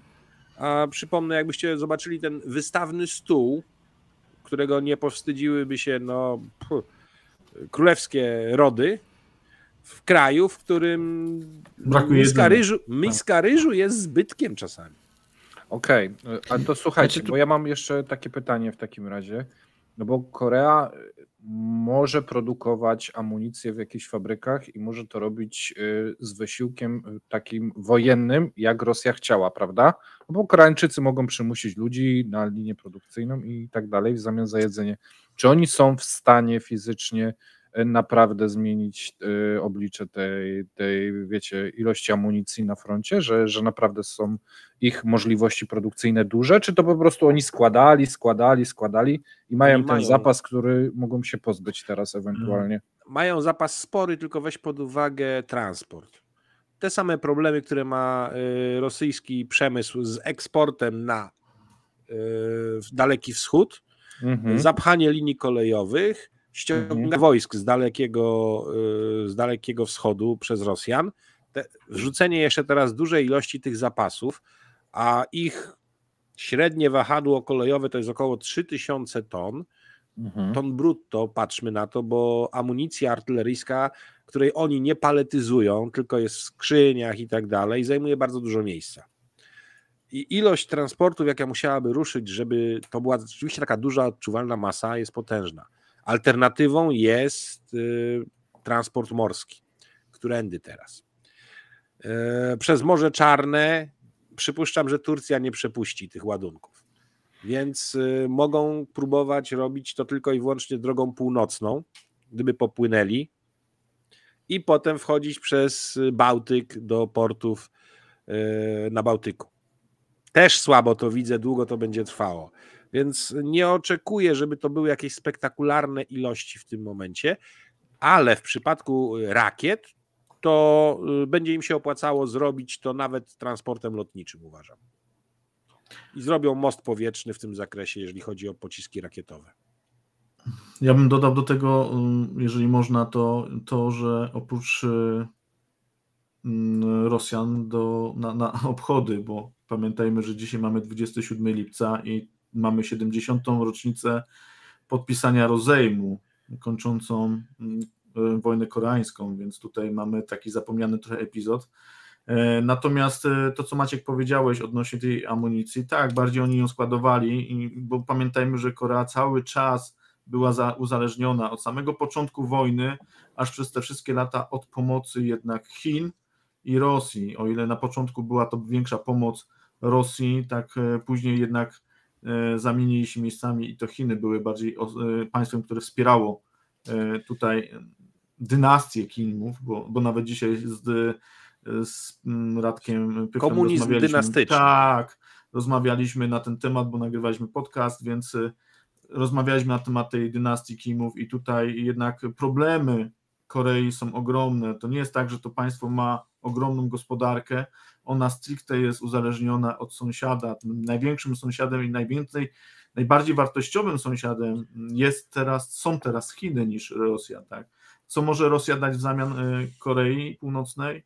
No pewnie technologię, bo Kim potrzebuje pewnej technologii do rozwijania też swojej armii, która jest przestarzała. On ma świadomość tego, że e, w konfrontacji tak naprawdę jego armia nie będzie w stanie podołać, jeżeli nie będzie miała wsparcia czy to Chin, czy Rosji. Natomiast y, jedynym straszakiem teraz Korei to jest ta broń atomowa, którą ma. I, i tutaj jednak e, cały czas testuje te nowe rakiety i, i, i jednak jest zagrożeniem nie tylko dla tej części świata, ale troszeczkę większego e, zasięgu. Y, pamiętajmy też, że amunicja, jaka była z Korei Północnej, to jest amunicja siermiężna, tak. prosta, banalna, tania, a nie wyszukana i mega skuteczna. A Chiny mogą podrzucić Korei amunicji i później to dalej polecieć? Bo tu takie pytanie było. Może być może. takie coś. I tutaj bym się amunicji chińskiej obawiał bardziej, bardziej. bo oni mhm. mocno pracowali w ostatnich 10, jak nie więcej latach nad tym, żeby poprawić jakość tej amunicji. Zaczęli ją przecież też sprzedawać w świat, y, kopiowali nieautoryzowanie różne rzeczy, jeżeli chodzi o broń zachodnią i y, tu bym się bardziej obawiał chińskiej amunicji. Czyli istnieje taka szansa? Takie ryzyko. Mhm. Dobra, dobra. E, a co powiecie o nowych przepisach mobilizacyjnych? Do armii. Chodzi ci o wiek? tak. Od 18 do 30 na tym w końcu stanęło, tak? Tak. O wiek poborowy. Tak. Czyli teraz każdy, kto nie był w wojsku, a nie ma dobrego usprawiedliwienia, to aż do ukończenia 30 roku życia, albo też rozszerzająco roku, w którym kończy 30 lat, mogą go zgarnąć do armii na podstawowe przeszkolenie, a służba wojskowa w armii rosyjskiej to jest chyba nadal dwa lata, nie? Podstawowa. No, trafi w końcu na front, więcej niż pewne. E, przyspieszona jest ścieżka kariery, można zostać szybciej żołnierzem zawodowym. Tak, Paweł? Proszę bardzo. Nie. Tak, bo trzeba jeszcze przypomnieć drugą rzecz, bo jedna to jest wiek poborowy od 18 do 30, ale został zwiększony wiek e, rezerwy. Tak. O czym mówiliśmy i to jak gdyby są takie dwa potoki. Z jednej strony te osoby, które powinno się szkolić, mm, poborowych, i te osoby, które według Rosjan i tak jak e, mamy te relacje, nie są potem szkolone, tylko od razu wysyłane na front. No i teraz będą wysyłane osoby, które wcześniej służyły w jakiś sposób, nawet 20 lat temu w armii, no i powyżej 60 czy 65 lat będą wysyłane. Od stopnia. Krótką w zależności od stopnia, tak. Mhm. Poszerzenie Kobiety bazy mobilizacyjnej. Krócej. To ja wam jeszcze powiem informacje dwie, bo widzę, nie, nie ten, chyba nie, nie znacie ich, a ja sobie to wyczytałem jakiś czas temu. E, jeżeli jesteście poborowym, to normalnie mogliście podpisać e, umowę zawodową i pojechać na Ukrainę po trzech miesiącach. W tym momencie można. Teraz już będzie można po miesiącu. E, I Łatwiej. drugi temat, e, była opcja Ty, gdzieś tam tak. odwoływania się e, poprzez prawnika w wojenkomacie od, od takiego e, biletu do woja. W tym momencie prawnicy nie będą mogli tego robić. Mhm. No ja jeszcze mówiłem, napisałem chyba takiego tweeta, że Rosja więzieniem narodów, to nie jest moje hasło, żeby było jasne, to nie ja je wymyśliłem, bo teraz, jeżeli tylko szedłeś w ten wiek i po prostu pojawiasz się na, na ewidencji, to już masz zakaz opuszczania kraju. I jest jeszcze jeden taki drobny temat, co prawda już może niekoniecznie tak stricte z mobilizacją, natomiast była taka sytuacja, że jeżeli byłeś informatykiem i pracowałeś w jakiejś firmie, miałeś możliwość e, tak jakby Być mm, zarejestrowanym. być, być nie Zwolnienie. ten, mieć zwolnienie takie. Tak. I w tym momencie z takiej listy firm y, informatycznych zostało skreślone 2000 firm, które nie spełniają E, tam y, wymogów. I, i ci Oni wcześniej już teraz- skreślali i też to zmniejszali, bo to nie tylko informaty, tak, tak było ileś tam zawodów, tak? Mhm. Oni, był taki moment, że po tym wrześniu, październiku zaczęli dopisywać, dopisywać, dopisywać i strasznie dużo, no i się okazało, że tylko tak naprawdę tylko Buriacja i Jakucja i Że nie było z czego brać, Lubinka, Tak. Znaczy, no to tam, by, tak jak pamiętasz, zakazano nekrologów, bo było tak dużo mm, zgonów. Tak. E, A w tym momencie wydaje się, że oni będą niestety, albo stety, to nie wiem jak to woli, no musieli sięgać już po te rezerwy miastowe. Mm, Mhm. Stąd tak. jak gdyby ta potrzeba. I słuchajcie, ogólnie y, fakt wprowadzania tych przepisów, jeden z y, posłów Dumy chyba skomentował, że po prostu oni muszą mieć większy wachlarz możliwości y, przy, przy właśnie wysyłaniu takich, takich mobilizacji, no bo to mm, za dużo było tych wyjątków, już nie za bardzo było z czego brać. W tak wielkim kraju. Wiecie, mówi się i, i cały czas tutaj, co niektóre osoby mówią, że przecież ludzi mnogo, tak? A tu się okazuje, że jednak Rosja ma ogromne problemy. I, Ja i wam tego- powiem, i tego, ja wam powiem tak, Brakuje Rosji, to teraz żołnierzy na froncie. Piechoty, dokładnie piechoty im brakuje. No. Ja wam powiem tak, bo e, pojawiły się takie statystyki e, demograficzne. Ja to pisałem chyba na ekonomii Rosji kilka dni temu. E, Jeden z demografów rosyjskich wyliczył, że mężczyzn między 18 a 30 rokiem życia jest według oficjalnych danych 9 milionów. Natomiast te dane są e, na podstawie spisu powszechnego, chyba z 2020 roku, który okazał się strasznym shitem. Tam e, jest miliony, e, wiecie, martwych dusz w tym spisie, Mhm. więc te 9 milionów niekoniecznie jest 9, może być 7. E, No i to już po, powołali z tego i to przez front się przewinęło, nie wiem, z pół miliona. Ciężko, ciężko to Więcej, stwierdzić, więcej, Mogło może, nawet może, Więcej. mogło nawet więcej, a to wszystko y, są, wiecie, ci ludzie, przynajmniej w dużej większości, te 18-30, więc to już jest bardzo duży wycinek e, społeczeństwa w tym wieku.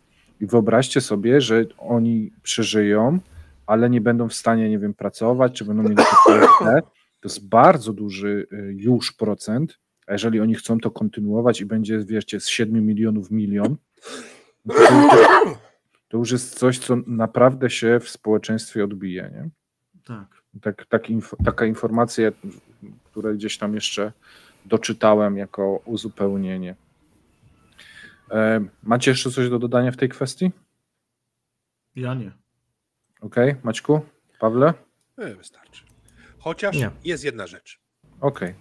Ukraińcy skarżą się, że ostatnie mm, mocne ataki na infrastrukturę portową udają się w dużej mierze dzięki temu, że okręty podwodne wychodzące na Morze Czarne atakują pociskami manewrującymi, które lecą szybko, a nisko nad powierzchnią wody, przez co są Mhm. trudniejsze do wykrycia przez stacje radiolokacyjne. I tu bym chciał przypomnieć tym, którzy uważają, że marynarka wojenna i okręty podwodne na Bałtyk są za duże i nie są potrzebne. Koniec cytatu. No, Okej, okej. E, A, A a propos, ja się tak zapytam, a co ma to wspólnego z mobilizacją, bo się... To ma wspólnego tyle, że nasza armia się dostosowuje do bieżącej sytuacji w oparciu między innymi o doświadczenia ukraińskie. I to jasno pokazuje, kto w czym ma rację. Aha. Dobrze, to ja może tylko a propos e, pocisków, bo jak pociski to procesory. I to procesory francuskie. Czytaliście tę informację, którą e, dzisiaj e, O tym wrzuciłem? Chińczyku, który był właścicielem 94% akcji tej firmy francuskiej.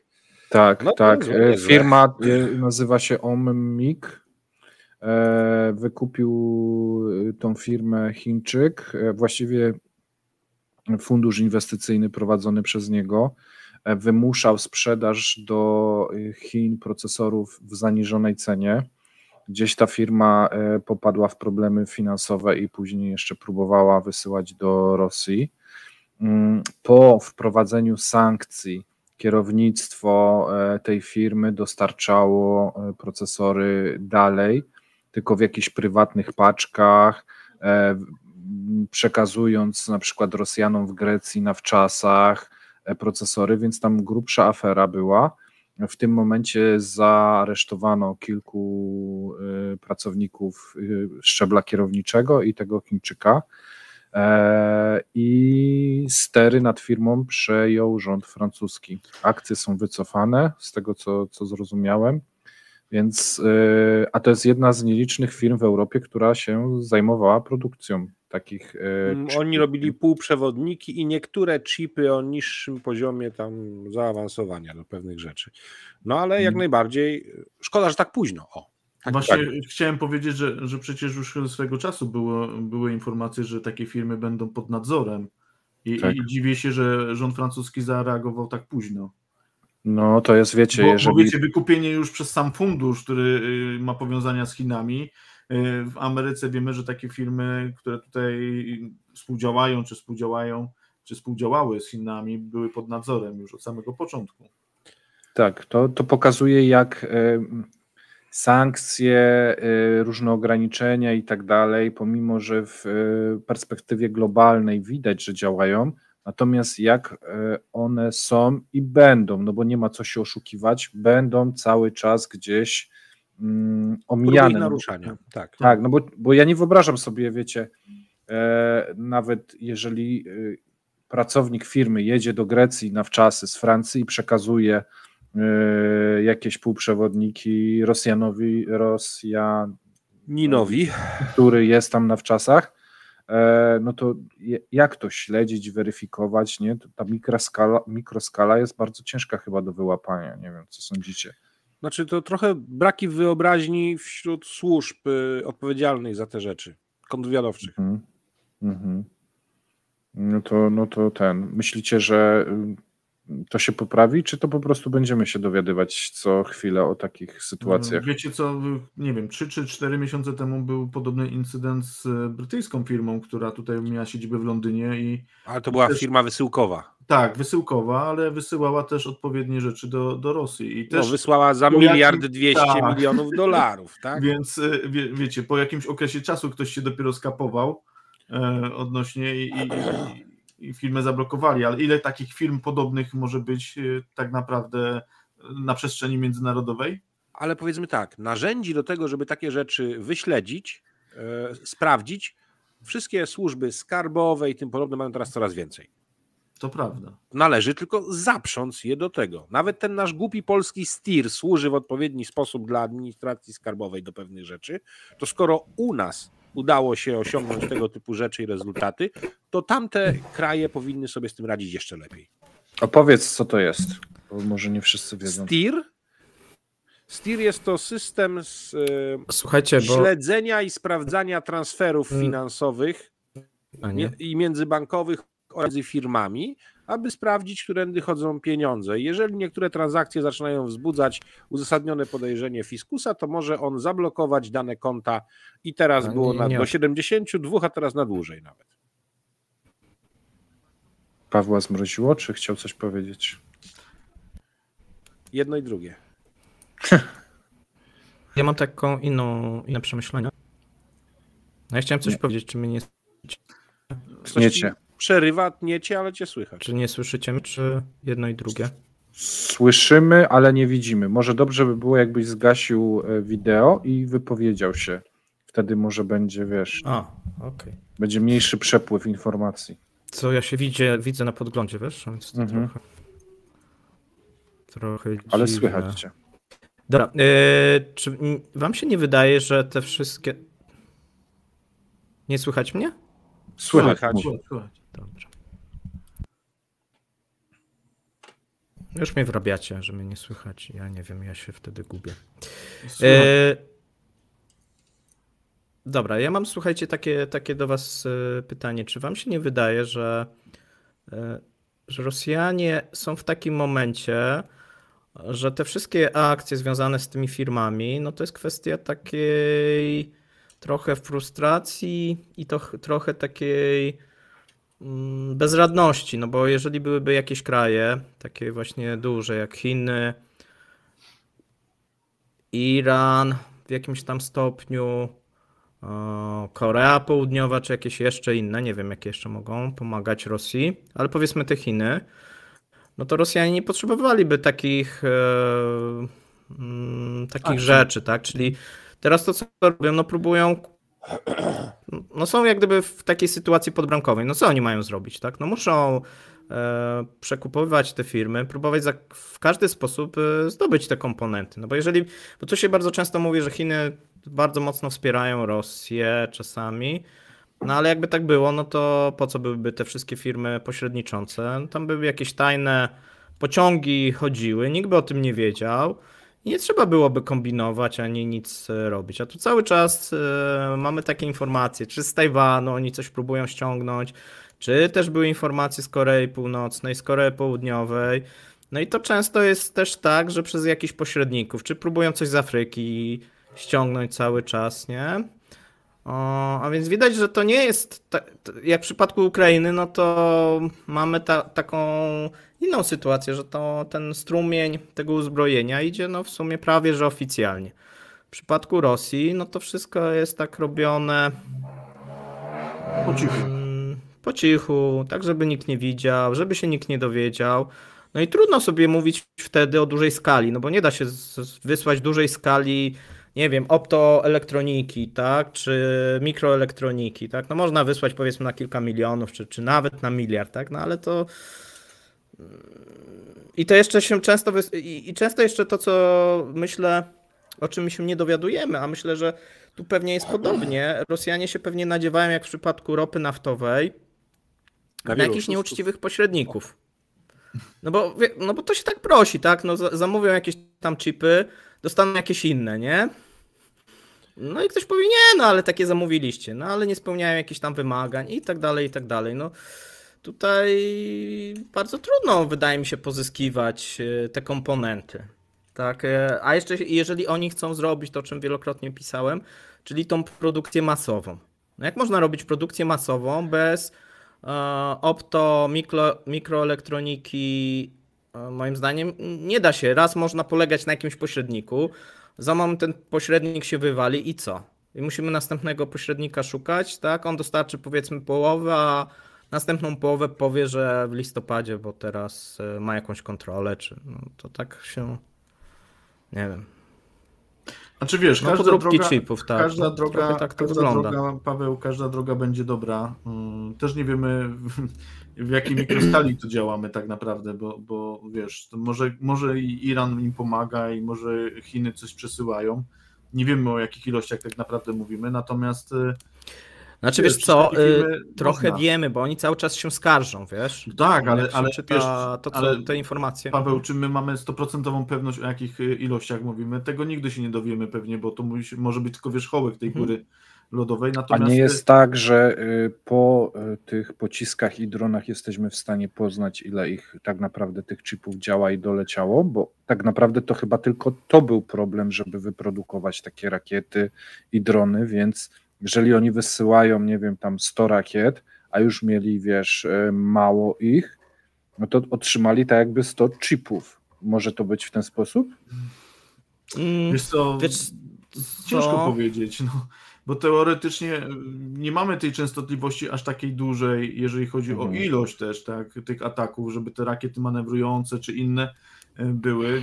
Był nawet taki moment, że one schodziły jakby z linii i były wykorzystywane do ataków. Dlatego ja pytam, czy po prostu Dlatego ich jest, tych, tych tak. przesłanych jest tak mało i to czy nie widać tego na rakietach po prostu. Wiesz co, można, można takie wrażenie odnieść, że po prostu tego jest tyle, że starcza jakby na taką pewną część produkcji bieżącej i Rosjanie to wykorzystują wystrzeliwując, tak? Ale, Ale- czy tak jest? Ale skoro No to wiesz, nie my- są te chipy właściwe, tylko jakieś alternatywy dla Tak. nich, słabsze, mniej odporne, nie wiem, na przeciążenia, temperaturę i tak dalej, wzrasta awaryjność. Tak. Ale mamy jakieś informacje, że nie wiem, że wystrzelono 10, doleciały tylko dwa, albo Tak, są informacje o No tym, że tak, wzrasta to wygląda awaryjność. właśnie. Mhm, Mhm. mhm. I wiesz, i wydaje się, że oni faktycznie to, co dostają, to idzie na produkcję, no bo mamy jak gdyby to, co Ukraińcy znajdują, no to wyglądają na bieżącą produkcję.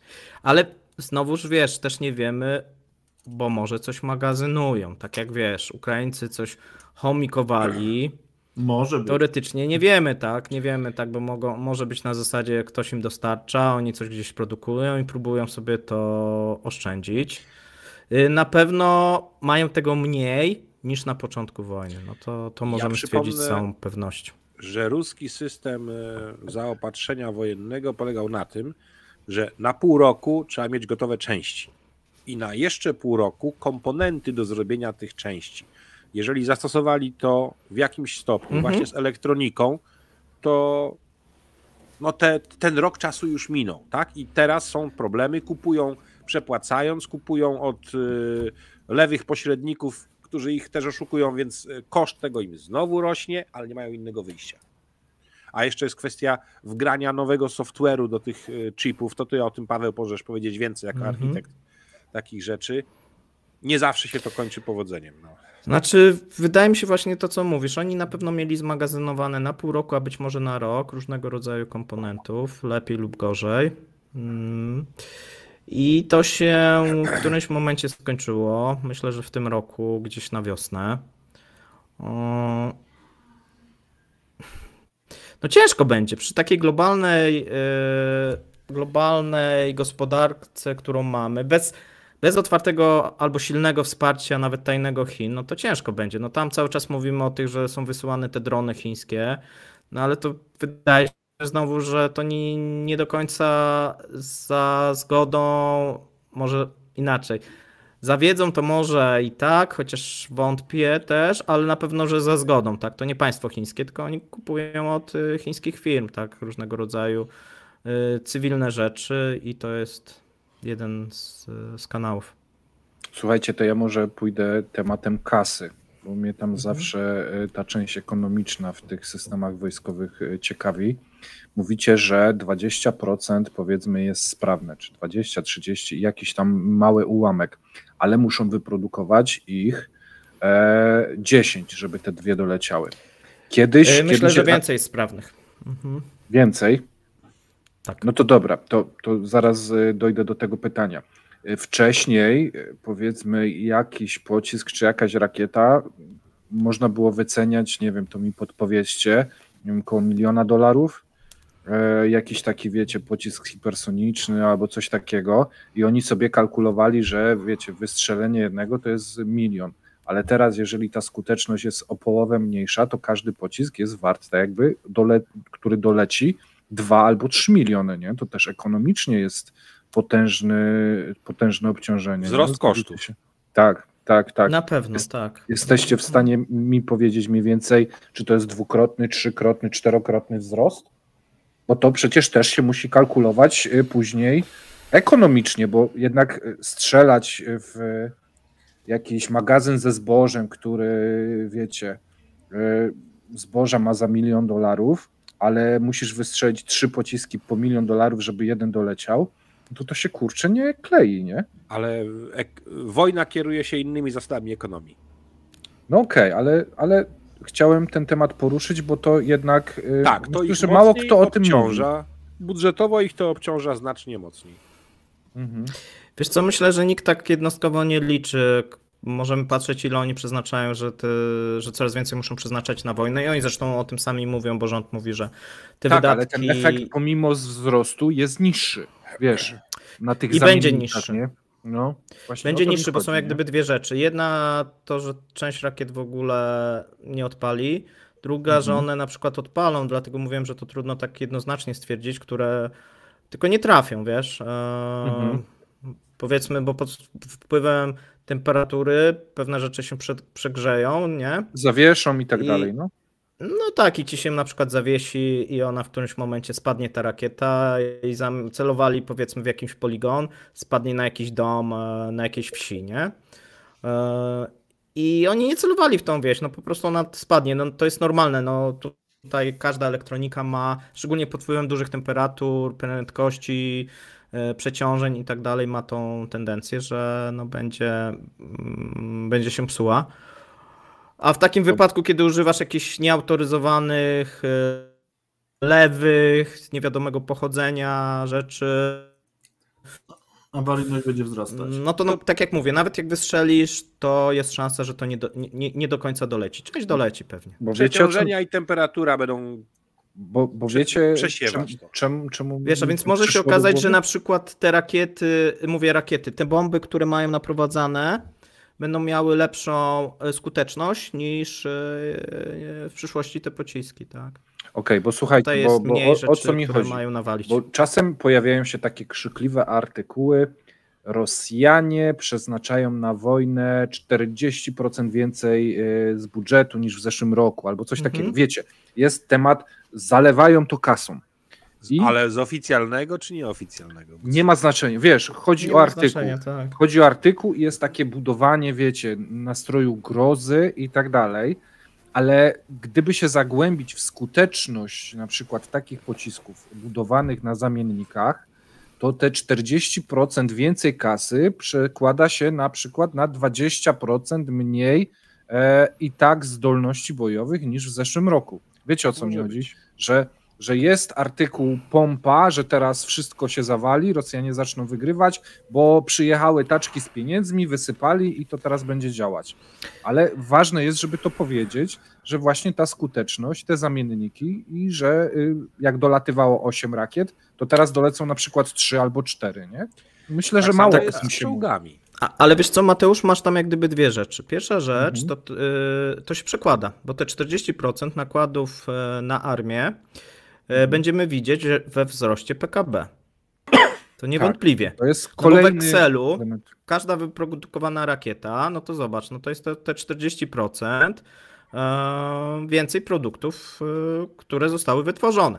A że są Ja buble. jeszcze raz powtórzę, to, że one za moment spadają, a część w ogóle nie wyjedzie z tej fabryki, a część jak gdyby się nie odpali, to w ogóle nikogo nie interesuje, bo jak gdyby w Excelu będziesz miał pozycję, wyprodukowano tyle i tyle rakiet, taka, taka rakieta tyle i tyle warta, że za moment ją wrzucą na złom, bo ona się nie nadaje, tak, bo nie spełnia jakichś tam kryteriów, nawet z tej fabryki nie wyjedzie, to, to nie uchroni tego, żeby nie wrzucić do Excela. To jest jedna rzecz. Druga rzecz, to co mówiliśmy,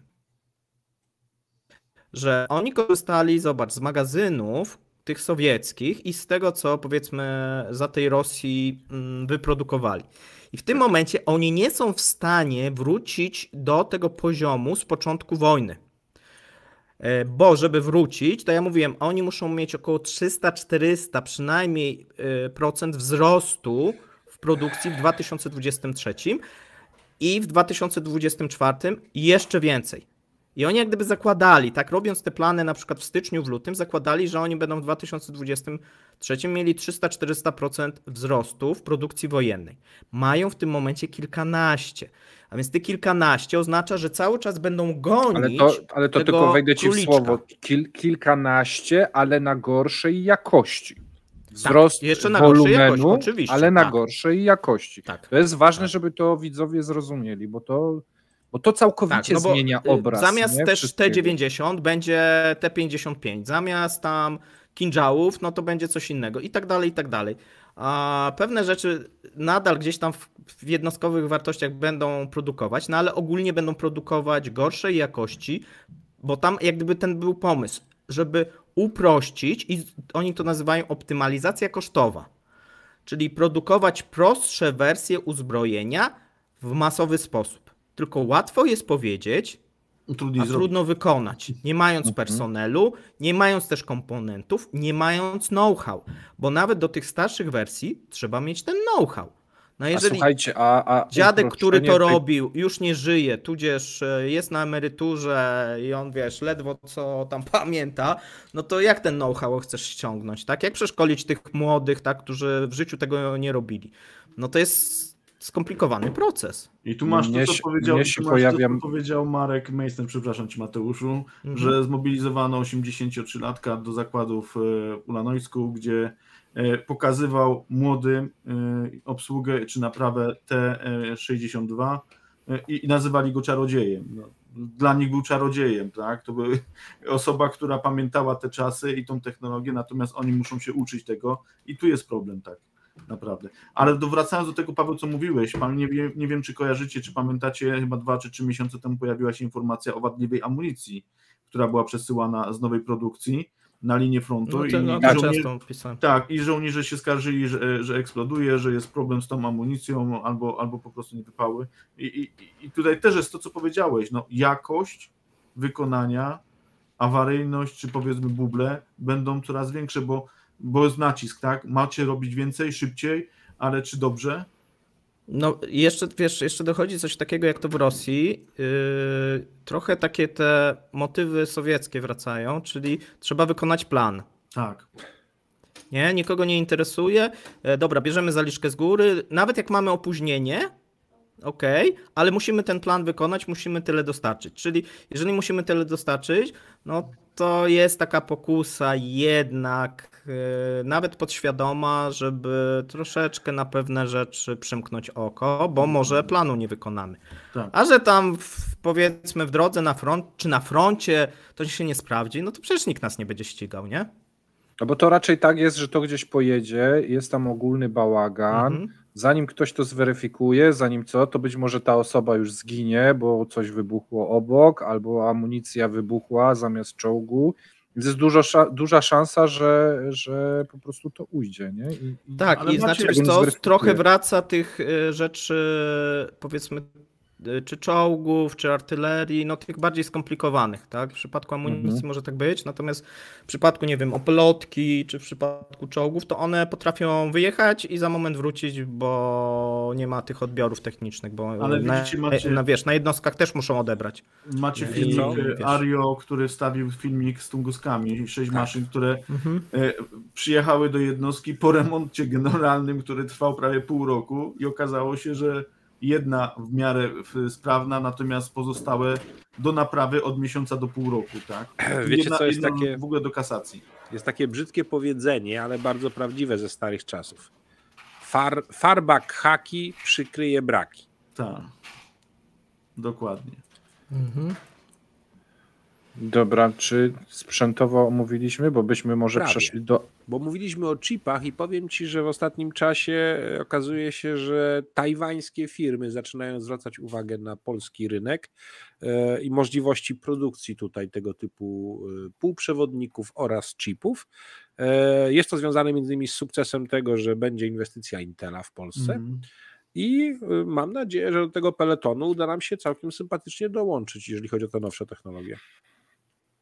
To jest bardzo pozytywna wiadomość. Lubimy pozytywne wiadomości o Polsce. Moglibyśmy zrobić sobie kiedyś y, jakiś odcinek z pozytywnych wiadomości o Polsce. Koniecznie, ale jest też coś, i tu chyba Paweł, y, mogę Ciebie zapytać o pozytyw wiadomości z Ukrainy. Otóż y, okazało się, że stopa dyskontowa, jaką miała e, Ukraina, którą podnieśli jakiś czas temu, chyba w kwietniu, z 10 na 25 punktów, obniżyli do 22. To by znaczyło, że jest Tak, stabilność punkty przychodów. Trzy punkty procentowe spadła. A to mamy taką, taką śmieszną sytuację, że w Rosji teraz e, rosną stopy, a w Ukrainie spadają. Dokładnie. No tylko cóż. różnica jest jeszcze duża na, na korzyść rosyjskich stóp, bo tam podnieśli... E, Wiesz co, natomiast jeżeli bym popatrzył na tą inflację realną, to tutaj mógłbym dyskutować, wiesz, bo w mojej Stawiasz ocenie... tezę, że y, na Ukrainie Tak. jest y, mniejsza inflacja niż w Rosji? Tak. To, to jest świetna teza. moglibyśmy Ale wiesz dlaczego?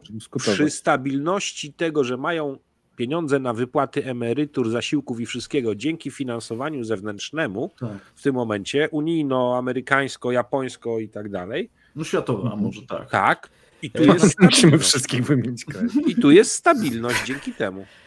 Nie, wiesz co, mają wysoką bazę mm, i mają ten efekt bazy i teraz im będzie to spadać, e, bo środowisko jest dezinflacyjne, to europejskie i te produkty, które dostarcza, są dostarczane z Europy będą Też tańsze. coraz tańsze.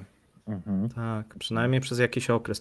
A w przypadku Rosji mamy dokładnie odwrotną sytuację, tak? Przez to, że ten rubel się dewaluuje, to te produkty dostarczane e, z Chin i gdzieś z Unii Europejskiej czy z Turcji będą coraz droższe, albo są już droższe, tak? To, co mieli zmagazynowane, bo wiesz, często jest tak, że wiesz, no firmy jadą na jakichś tam stanach magazynowych i tak dalej, i tak dalej. Za miesiąc, dwa miesiące będą musieli te komponenty zakupić, będą musieli ściągnąć nowe, e, no już w wyższych cenach. No widzimy to najszybciej chyba na tym rynku samochodów, tak, gdzie to błyskawicznie, tak, już w, w lipcu mieliśmy wzrost o 15%. Ja, ja bym chciał wam jeszcze- Ja bym chciał tylko Wam y, podać y, nagłówek z dzisiejszego artykułu w Moscow Times. Y, Rosstat y, stwierdził gwałtowne przyspieszenie inflacji. Rosję ogarnia cenowe tsunami.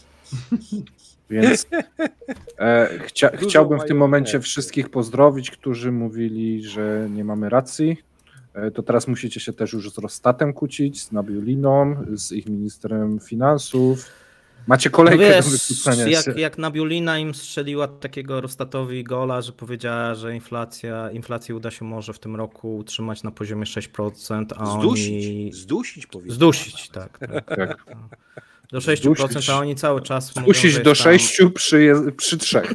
Czy, czy, Przy trzech, tak? No to wiesz, to Rostat też musiał jakoś za, zareagować, no skoro Jak to było? wszyscy... Mówisz partia, myślisz Lenin, mówisz Lenin. Ale i wiesz co, ale to było też istotne, że to było po wypowiedzi Putina, który powiedział, że w tym roku inflacja może być problemem też.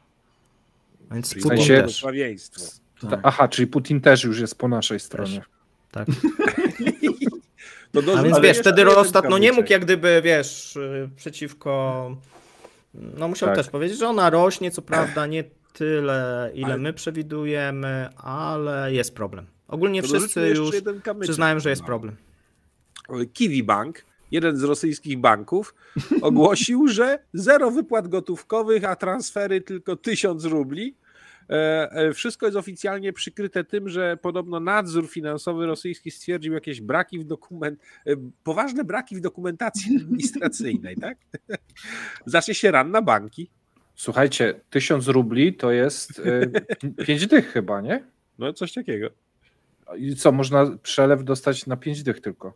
No, To i tak dobrze, bo w niektórych dla osób miejscach... fizycznych, nie? No okej, firmy to i tak dobrze, bo na przykład poczta w niektórych miejscach płaci zamiast wypłaty stówkę. 100 złotych, nie? 2000 Tak, rubli. natomiast tam, Mati, jest jedna taka informacja, tak, w tym Moscow Mhm. Times, bo powie- powiedziałeś, która jest bardziej istotna, Mhm. bo mówi się o tym, o czym my pis pisaliśmy i co przewidujemy, czyli ten boom kredytowy. e, No i oni tam piszą, że boom kredytowy w gospodarce tworzy piekielną mieszankę. W czerwcu według Banku Centralnego banki zwiększyły emisję kredytów detalicznych, detalicznych o 17%, kredytów hipotecznych o 23%, kredytów samochodowych o 13%, nie? I mówiliśmy, że to nie jest do końca związane tym, że Rosjanom się żyje lepiej i oni mają stabilną sytuację, tylko oni obecnie, przez to, że było to luzowanie w zeszłym roku, żeby ożywić tą gospodarkę, bank centralny wydaje się i banki przegięły w drugą stronę. I teraz dostawało się, pamiętasz te, te, te fałszerstwa, dostawało się często te kredyty bardzo łatwo. Procent tych e, straconych kredytów rośnie. Procent ludzi, którzy nie mogą spłacać kredytów, tych szczególnie bankowych, bo o ile chwilówek na przykład e, spadł, dlaczego spadł? Dlatego, że te osoby mogły zaciągnąć te bank, e, kredyty bankowe. Nie? No skoro Mhm. mogą bankowe, one są niżej oprocentowane niż chwilówki, no to poszli do banku, nie? A nie muszą mieć takich zabezpieczeń, jak powiedzmy 2-3 lata temu. E, I to nie jest dobra sytuacja, bo bank centralny już w maju mówił, żeby banki ograniczyły tą akcję kredytową. Nawet groził, że na przykład wyłączą możliwość hipoteki dla, yy, dla banków, nie? że za dużo mhm. jest. A ja wam powiem jedną rzecz, e, taką, która nie jest do końca może oczywista, ale myślę, że Rosjanie, ci, którzy są rozsądni, to tak robią. Jeżeli masz oprocentowanie w banku na, nie wiem, 6% czy 8%, no, e, bo, bo, inf, bo, inflacja wynosi ci oficjalne 2, ale realnie jest powiedzmy 25, to biorąc kredyt na cokolwiek, masz tak ujemne, masz tak. ujemne oprocentowanie, więc kupujesz cokolwiek, co ci przetrzyma wartość, y, bo jak to zaraz wystrzeli, no to, no to masz szansę na tym w jakiś sposób zarobić. Nie? Jest szansa, że spłacisz to potem, uwzględniając, jak już będzie urealniona inflacja, znacznie szybciej, mając te pieniądze, które masz. Tak. No dlatego bank, bank centralny właśnie widzisz, reaguje, tak? Podniósł tą do 8,5, moim zdaniem za nisko. Za moment podniesie na następne posiedzenie 9,3 i za moment dyszka może pęknąć, nie? Tak. Oni, oni muszą to, yy, to, to, to temu przeciwdziałać. Może, może Aleksandrze właśnie to ty pisałeś, i, bo, bo ktoś to zwrócił uwagę na to i tak podałem, mhm. że to bardzo dobry punkt widzenia, tak, więc brawo Aleksandrze, e, dobrze zwróciłeś uwagę na to. Pozdrawiam. Mm. My podawaliśmy, tutaj pytacie o ten procent straconych, my podawaliśmy w bilionach rubli, musiałbym to na procenty przeliczyć, bo w którymś z artykułów podawałem, ile to jest bilionów, to są te stracone. Hmm, Wydaje mi się, że to jest powyżej 10% na tym. Wiesz co, wydaje mi się, ale... że nadchodzi pokolenie bankrutów e, Tak, gdzieś tam było, tak, a więc można sprawdzić, tak, e, sobie stosunek właśnie w bilionach tych rubli do udzielonych wszystkich. Wydaje mi się, że to około 10%. Tak, a jeżeli to nie było w nadchodzi pokolenie bankrutów, to dzień wcześniej było twoje podsumowanie tygodnia 10 punktów. I tam, tak, gdzieś to, gdzieś tam to na pewno było. było. Mhm. Te dwa artykuły, jeżeli chcecie dokładnych tych liczb, to tam to jest, bo jeden pisałem ja, i, a wcześniej pisał Paweł i któraś z tych liczb jest gdzieś w tych dwóch artykułach. Dobra, panowie, co tam w Afryce? W sensie, co tam w Rosji z Afryką? A czemu zgasło? Co zgasło? O, bo u mnie przez chwilę było ciemno. bo powiedziałeś o Afryce. Piłeś cytr? No bo jak gaśnie ci przed oczami, to trzeba dzwonić. Ale nie piłem aż tak Trzeba dzwonić. Trzeba nie piłem aż tak szybko. Słuchajcie, no co? Lamy Czar... opadowe i tak dalej. Afryka zaproszona na wielki summit, tak? Do tak. Sankt Petersburga, a niedawno tam jeszcze też był świat, Międzynarodowy Kongres Gospodarczy. Też nie, nie zdążyli rozebrać starych, kurde, dekoracji. No to y, na początek miało Ale to być, serio? Że... Bo ja nie przyglądałem się. Jakiś korzystaliśmy sami? Okay. Nie no, wiecie, plan oszczędnościowy mają ciąć wszystko. No to może i tam też cię. Możliwe. I słuchaj, no około 10 krajów stamtąd miało się nie zjawić na tym samicie. No w jednym się wydarzyła nagle, nagle zmiana warty, czyli w mm -hmm. Nigrze, skąd jest źródło problemów dla Francji, bo stamtąd pochodzi uran do produkcji paliwa w ichniejszych yy, tych elektrowniach atomowych.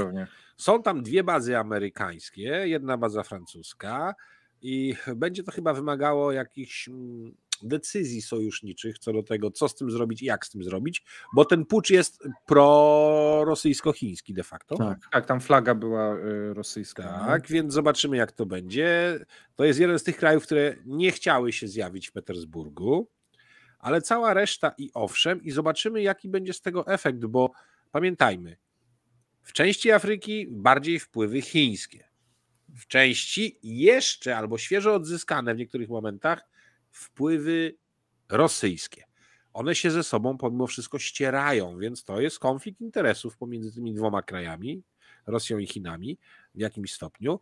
E, zobaczymy, co to da, ponadto co, kto czego potrzebuje ale na pewno jest to próba dalszego eliminowania Francji i Stanów Zjednoczonych z Afryki, a przynajmniej z tej południowej i środkowej części Afryki. Dobra, to ja może przejmę, e, bo nie do końca się zgadzam. O, teraz ja będę zaczynam mówić jak Paweł, e, bo nie przyjechała cała Afryka. tylko tak naprawdę jedna trzecia prezydentów przyjechała, dwie trzecie wysłało delegacje niższego szczebla. To raz. E, dwa, kilka krajów w Afryce było zdenerwowanych na Rosję za zerwanie umowy, umowy zbożowej. Umowy zbożowej. Tak, i tutaj na przykład e, minister handlu Egiptu e, wezwał rząd rosyjski do rozważenia swojego stanowiska i powiedział do, wyraźnie: Jesteśmy niezadowoleni z wycofania się Rosji z umowy z ONZ. E, a nawet tak bardziej ostro zareagował e, minister spraw zagranicznych Kenii, który nazwał posunięcia Moskwy e, ciosem w plecy bezpieczeństwa żywnościowego. Więc, więc te, te rzeczy są. No, jest tam sytuacja nie do końca taka różowa. Mm, dzisiaj dowiedzieliśmy się, że Putin proponuje przekazać e, tam po 25-50 tysięcy ton zboża, e, których z krajów, ja, ja nie spisałem sobie, do których chcę to wysłać, natomiast to przy tej skali, którą wysyła Ukraina i której może nie wysyłać, przez co zaburzy całe tam ciągi logistyczne i spowoduje odbicie się czkawką w Afryce, no to to są bardzo małe E, ilości, małe wolumeny, więc to też już się spotkało z niezadowoleniem. Już widziałem artykuł w rosyjskiej prasie, że, że te państwa nie do końca są zadowolone z takiego obrotu sprawy. Co więcej, i to też dzisiaj pisałem w artykule na ekonomii Rosji, w 2019 e, Putin obiecał zwiększyć obroty handlowe dwukrotnie w przeciągu pięciu lat z całą Afryką. I było wtedy chyba 17 miliardów dolarów, o ile dobrze pamiętam. Po czym po czterech latach, bo mamy teraz 2023, zwiększyło się do 18,1, czyli praktycznie stoi to w miejscu. E, więc e, to, co było obiecane, praktycznie nie zostało w ogóle spełnione.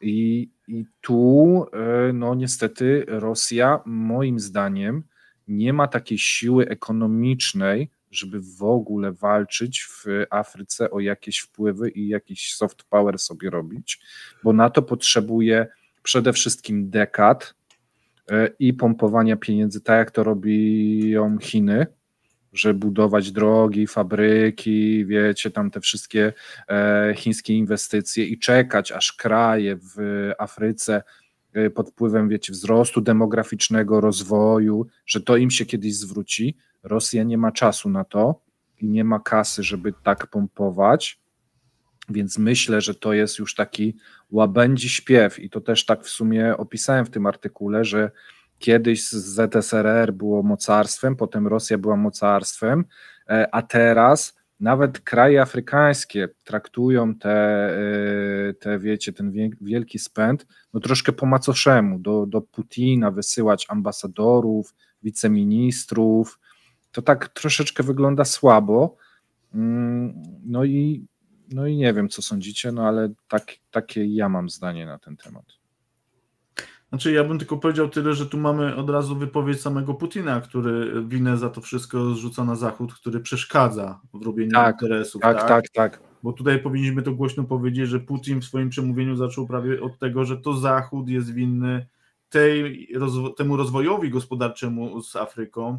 I, i, i tutaj, e, nie wiem, to jest takie przerzucenie, tak, winy na, na, na Zachód, bo przecież jesteśmy wrogami i, i, i wróg będzie robił wszystko, żeby nam przeszkadzać. Natomiast e, czy tak jest naprawdę? No pewnie, że nie. No wiemy, że przecież Ukraina robiła swoje e, i ten transport szedł. Natomiast e, tak jak powiedziałeś, minister spraw zagranicznych Kenii powiedział, że, że to jest wbicie noż, noża w plecy tak, dla państw afrykańskich, bo one są naprawdę uzależnione od tego, żeby jednak to zboże czy z Rosji, czy, czy bardziej z Ukrainy jednak kierowało się na kontynent afrykański bo bez tego no, może być ciężko. Natomiast Ale... E, mam pytanie tutaj jeszcze od widza, bo w sumie e, pytanko, czy Putin ma coś wspólnego z, z przewrotem w Nigrze, więc myśmy już o tym powiedzieli troszeczkę, e, o tym puczu wojskowym w Nigrze, że to jednak będzie, będzie, będzie robione właśnie przez Rosję i ze wsparciem Chin ewentualnie, tak?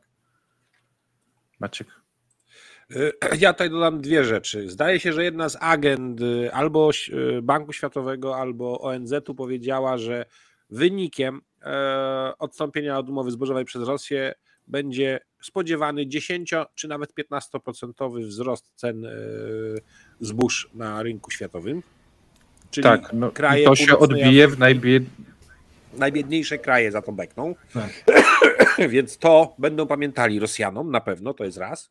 Dwa, ewidentnie Rosja od tamtego sezonu już próbowała e, podmieniać e, tych tradycyjnych odbiorców zboża ukraińskiego na swoje zboże. Nieważne, czy to było to, które ukradła z pól ukraińskich, ale generalnie rzecz biorąc w ten sposób chce podmienić na rynkach światowych, bo o ile Ukraina w tamtym roku to prawie 33 miliony ton, tak jak podawał sam Putin, wyeksportowała, o tyle Rosjanie znacznie więcej, chyba około 50 kilku milionów ton wyeksportowali. I bądźmy szczerzy, przy właściwym gospodarowaniu na tych ich potężnych areałach, jakie mają, byliby w stanie robić więcej. Paweł, chciałeś powiedzieć coś, bo kręciłeś głową mocno. Że to... Mm, Maciek, obejrzyj ten nasz live e, o mm, umowy, umowie zbożowej zerwaniu. No nie miałem okazji, nie zdążyłem. Bo myślę, że warto, bo my właśnie staramy się obalać te mity, a ty trochę je powieliłeś. Nie, ja tylko powiedziałem, że takie coś podał albo Bank Światowy, albo coś takiego. Nie, ONZ podał, tak Bank Światowy to je, no. je, jeden ciul. E, bo obie organizacje mm, powiedzmy mało się mylą. No i się mylą, tak. No, mamy informacje, słuchajcie, no to sprawdźmy sobie tą pszenicę, tak. Ja o tym zresztą mówiłem. Wiele jak gdyby ekonomistów i specjalistów w tej dziedzinie o tym pisze. Jeżeli chodzi o rok, pszenica spadła na ten moment o 10%, tak, rok do roku. Jeżeli chodzi o ten miesiąc, tak, no to mamy wzrost o, w przeciągu miesiąca o 2%, tak? Jeżeli chodzi o ten tydzień, jest spadek minus 2%, tak? Mieliśmy takie chwilowe po tym zerwaniu wzrost e, do 10% był, był moment, a potem mieliśmy reakcję rynku. Dlaczego? Dlatego, że tej pszenicy, jest mówię o pszenicy, tak? W przypadku innych zbóż jest podobnie. Ogólnie żywności w tym momencie i areałów jest więcej i nawet jeżeli patrzymy, wielokrotnie mówiłem, Afryka byłaby w stanie się wyżywić. Natomiast zwróćcie uwagę to, co e, tutaj jest najistotniejsze, o czym też mówiliśmy właśnie na tym, na tym live'ie. E, gdzie Rosja wysłała? Do jakich krajów? No tam, gdzie ONZ wysyłało wcześniej, nie? Mhm. A skąd ONZ brało? I FAR? Z Ukrainy. I teraz Rosja mówi, dobra, to my będziemy tym dobrym wujkiem, to my będziemy wysyłać. Dlaczego 200 tysięcy? To jest nawet mniej niż wcześniej ONZ tam e, do tych krajów przeznaczał, dlatego że oni chcą zarabiać, tak? To ma być tylko symbolicznie, żeby dobrze w gazetach było wyglądało. E, początkowo Putin obiecywał aż milion. Tak, tak. A, tak. I a propos y, dobrego wyglądania w gazetach, e, bo nie wiem, czy też mieliście okazję czytać, czy nie E, gdy pojawiło, pojawiły się informacje e, o tym, że Rosjanie zerwali umowę zbożową, no to wiadomo, w Afryce, w krajach afrykańskich zaczęły pojawiać się artykuły niekorzystne dla Rosjan. I ambasador w Kenii rosyjski, Dmitrij Maksymyczew, z tego co pamiętał, mhm. E, pośpieszył z oczyszczeniem Moskwy od odpowiedzialności i napisał w takich dwóch największych tytułach e, kenijskich e, felietony, w których za ten upadek tej umowy zbożowej obwiniał USA, Unię Europejską, które stosowały wszelkie sztuczki, by dostar- e, ograniczyć dostawy rosyjskich zbóż i nawozów na rynki światowe. Teraz, drodzy przyjaciele z Kenii, znacie całą prawdę o tym, e, kto używa jedzenia jako broni i tak dalej, i tak dalej. Więc oni stosują taką perfidną, wiecie, propagandę, jak mieliśmy na przykład na początku wojny w Ukrainie. W tej buczy to nie my strzelaliśmy, to Ukraińcy sobie sami zastrzelili, tu zerwaliśmy umowę, ale to nie nasza wina, to ich wina. Cały czas taką toporną, toporną, no ale puszczają to w y, dwóch najbardziej poczytnych dziennikach w Kenii. No i wielu ludzi w to niestety uwierzy. Tak. tak, jeszcze jedną rzecz powiedzmy, bo to też cały czas. Zboże ukraińskie głównie nie szło do Afryki. Zboże tak. ukraińskie szło głównie do Chin, Turcji i Unii Europejskiej. Hiszpania tam jeszcze była wysoka. No Unia, Hiszpania jest w Unii Europejskiej. Tak, no ale mówię jako kraje, nie? Że, że Mhm, tak, jako kraj, tak, tak. A Mhm. więc to, to były kraje. Zboże rosyjskie też w dużej mierze na przykład idzie do Chin, tak? No być może teraz zrobią jakiś zwrot, dostarczą coś do Afryki, ale nie zrobią tego za darmo, więc na przykład dostarczą Egiptowi, jeżeli Egipt zapłaci odpowiednie kwoty. Ale, tak roz, dalej, i tak ale dalej. rozumiesz ten mechanizm, bo, bo y, wiesz, ja Nie, już słyszałem, zgadzam ja się już, z tobą. Ja już słyszałem ten argument. Po prostu e, jeżeli zabraknie zboża ukraińskiego, no to Hiszpania, Turcja czy Chiny muszą Mhm. go kupić gdzie indziej i wtedy Poradzą Y, sobie. te, te miejsca, gdzie y, kupowali wcześniej z Afryki ludzie, no nagle zostaną bez zboża, albo te zboże zostanie podniesiona cena. Rosjanie wchodząc na te rynki i sprzedając drożej, zrobi na tym interes, a pchając tą propagandę, że to nie ich wina, tylko wina Mhm. Zachodu, y, jeszcze spowodują, że ci ludzie, którzy mieszkają w Afryce, będą źli na Unię Europejską, na Stany Zjednoczone, że to jest ich wina. Że to jest ich wina, a Rosjanie nam przysłali. Drożej, no bo drożej, no tak, ale to Amerykanie i to Unia spowodowała, że my tego zboża nie mamy, albo że musimy zapłacić za to więcej. To jest cały system takich naczyń powiązanych propagandy i biznesu. Niestety tak to będzie wyglądało, nie? Że, że Rosja wepchnie się stopą w tamte rynki w jakiś sposób, zarobi, że drożej, ale jednocześnie będzie pompowała swój przekaz, że to oni są tym dobrym na białym koniu. Wiesz e, co, którzy przyjadą z z jednej zbożem. strony tak, ale z drugiej strony to będzie margines w dużej mierze, o czym mówiliśmy zresztą, rosyjskie zboże będzie wysyłane do Chin, Mhm, gdzie w dużej mierze wyprze ukraińskie. Mhm. No i... Ale to wystarczy margines, bo zobacz, bo to będzie tak jak teraz powiedziałem. Tak, tak, to Dzisiaj no, nie, 25 ale tysięcy wystarczy, zamiast tak, kilku do milionów, do ale tak. nagłówek będzie dokładnie taki sam, nie? Tak, do propagandy pewnie starczy, natomiast wiesz, no interesy się będzie robiło na przykład z Chinami, tak, czy z jakimiś innymi krajami. E, Zobacz zresztą, co oni chcą wysyłać do tej Afryki, oni chcą wysyłać nawozy, ale już fabryk, jak e, wiesz, te kraje proponowały, żeby pomóc e, i tą technologię i know-how do budowy fabryk nawozów, to tak, mm, to nie, nie, to nie, No nie, nie. No. to nie za bardzo. No ale bo to jest y, strategiczne gdzieś tam, wiesz, Nie, gałąź no, przemysłu. rozumiem, nie? no, oczywiście, tak. No. No to- to- E, Szczególnie, że z takie- tych, ja nawozów taką- mają nadmiar. Ja taką małą informację, bo jest potwierdzenie, że Staromajerskie zostało wyzwolone przez stronę ukraińską, także To wracamy. który raz z kolei? Nie, to już jest pierwszy raz. To już jest pierwszy raz. Jako komplet to pierwszy. tak, jako Komplet komplet pierwszy, już całe? pierwszy raz. Tak. Przez Dobra. żołnierzy. Czy, czy temat afrykański myślicie, że mamy załatwiony? Bo ja mam dla was jeszcze niespodziankę. Jeżeli, jeżeli chcecie, to ja wam zaraz pokażę. Tylko muszę sobie odnaleźć, gdzie to jest. E, zdjęcie. Tą niespodziankę, czy tą drugą niespodziankę? Foto niespodzianka. Fo, to- foto niespodziankę. To, to, to takie z dwoma? O, proszę O. bardzo. Da, da, da, Proszę bardzo. E, tu jest jedna niespodzianka, a tu jest druga niespodzianka. Mamy Prigorzyna. I No wujek Prigo. wuj- Wujek Prigo i wiecie, gdzie on jest, gdzie on W siedzi. Petersburgu. To jest W. Petersburgu W Petersburgu. U siebie. U siebie. No. Czy, czy Na Białorusi u siebie. W Petersburgu. No właśnie chciałem zapytać, czy Białoruś ostatnio wchłonęła jakieś e, rewiry w Rosji, czy, czy jak to wygląda? Ale wujek- jak ubrany jest? To jest Tak. zbir. Państwo Tak, związkowe. Czyli on może swobodnie sobie przejeżdżać, nie? W sumie tam. Tak, i No. swobodnie, zobacz, może się ubierać na luzie, tam wiesz, Tak, jakieś o, tam. tak, tak Bo się po ubiera. co on ma się starać dla dyplomatów, nie? On jest u siebie. Tak, no wolno. przyjmuje, wiesz, y, Wiesz, pan... zszedł dużego pokoju, tak, wiesz, sobie tam drzewo. Ale wiecie, w że- kapciach, nie? Ale Tam wiecie, że Boćka dzisiaj powiedział, że ma problem z upilnowaniem Wagnera na Białorusi, tak? Więc... No bo jak Prigorzyn jest, wiecie, w Petersburgu, w Petersburgu, no to nie dziwię się. No to, gdy kota nie ma, myszy harcują, wiesz. No. tak, tak no w sumie Co powiecie? Maćka nie pojechał na ten meeting do Petersburga, spotkać się Ale- z Afrykanczykami? Ale Nie Białoruś nie, zaprosili leży w Afryce. No ale skoro gospodarzem jest Rosja, a on w ramach zbiru No jest tak. jak Rosja. no, Widocznie tam nie wystarczy jeden lider, nie? Tym Jeszcze razem nie był potrzebny, żeby, żeby zabezpieczać interesy. Tak. Nie, ale co, co sądzicie w ogóle? Jak to jest możliwe, że on sobie, wiecie, tam jeansy kapcie i przyjmuje oficjeli z Afryki, wiecie, I na kraj tym- taki u, był u siebie, u siebie w, w Petersburgu. Czy to nie jest jakiś absurd? Czy to nie nadaje się na wtorek w ogóle na nasz ten satyryczny? Ale A myślę, nie, no że, koniecznie. ale myślę, że warto. Yy, Ja myślę, Mateusz, że powiedzieć, nie? powinniście wrócić we wtorek do tego tematu i go rozwinąć. Zdecydowanie.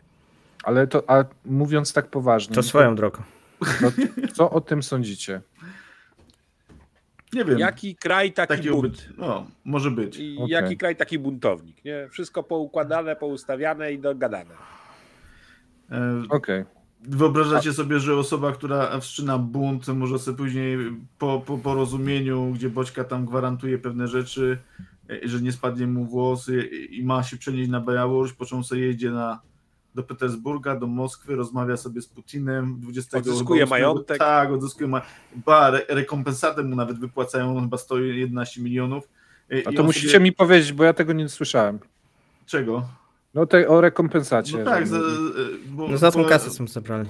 Tak, zabrali mu część sprzętu i później mu rekompensatę dawali finansową, ale to nawet nie o to chodzi, bo sprzęt mu też zwrócili, żeby było ciekawiej, e, przynajmniej wojskowy. Natomiast no dzisiaj sobie podróżuje po, po Rosji, jak, jak u siebie był faktycznie, tak? I, I nikt mu nie przeszkadza, nikt go nie aresztuje, nikt go nie A obserwuje. jedyni, a jedyni którzy obrywają, to turbopatrioci Z.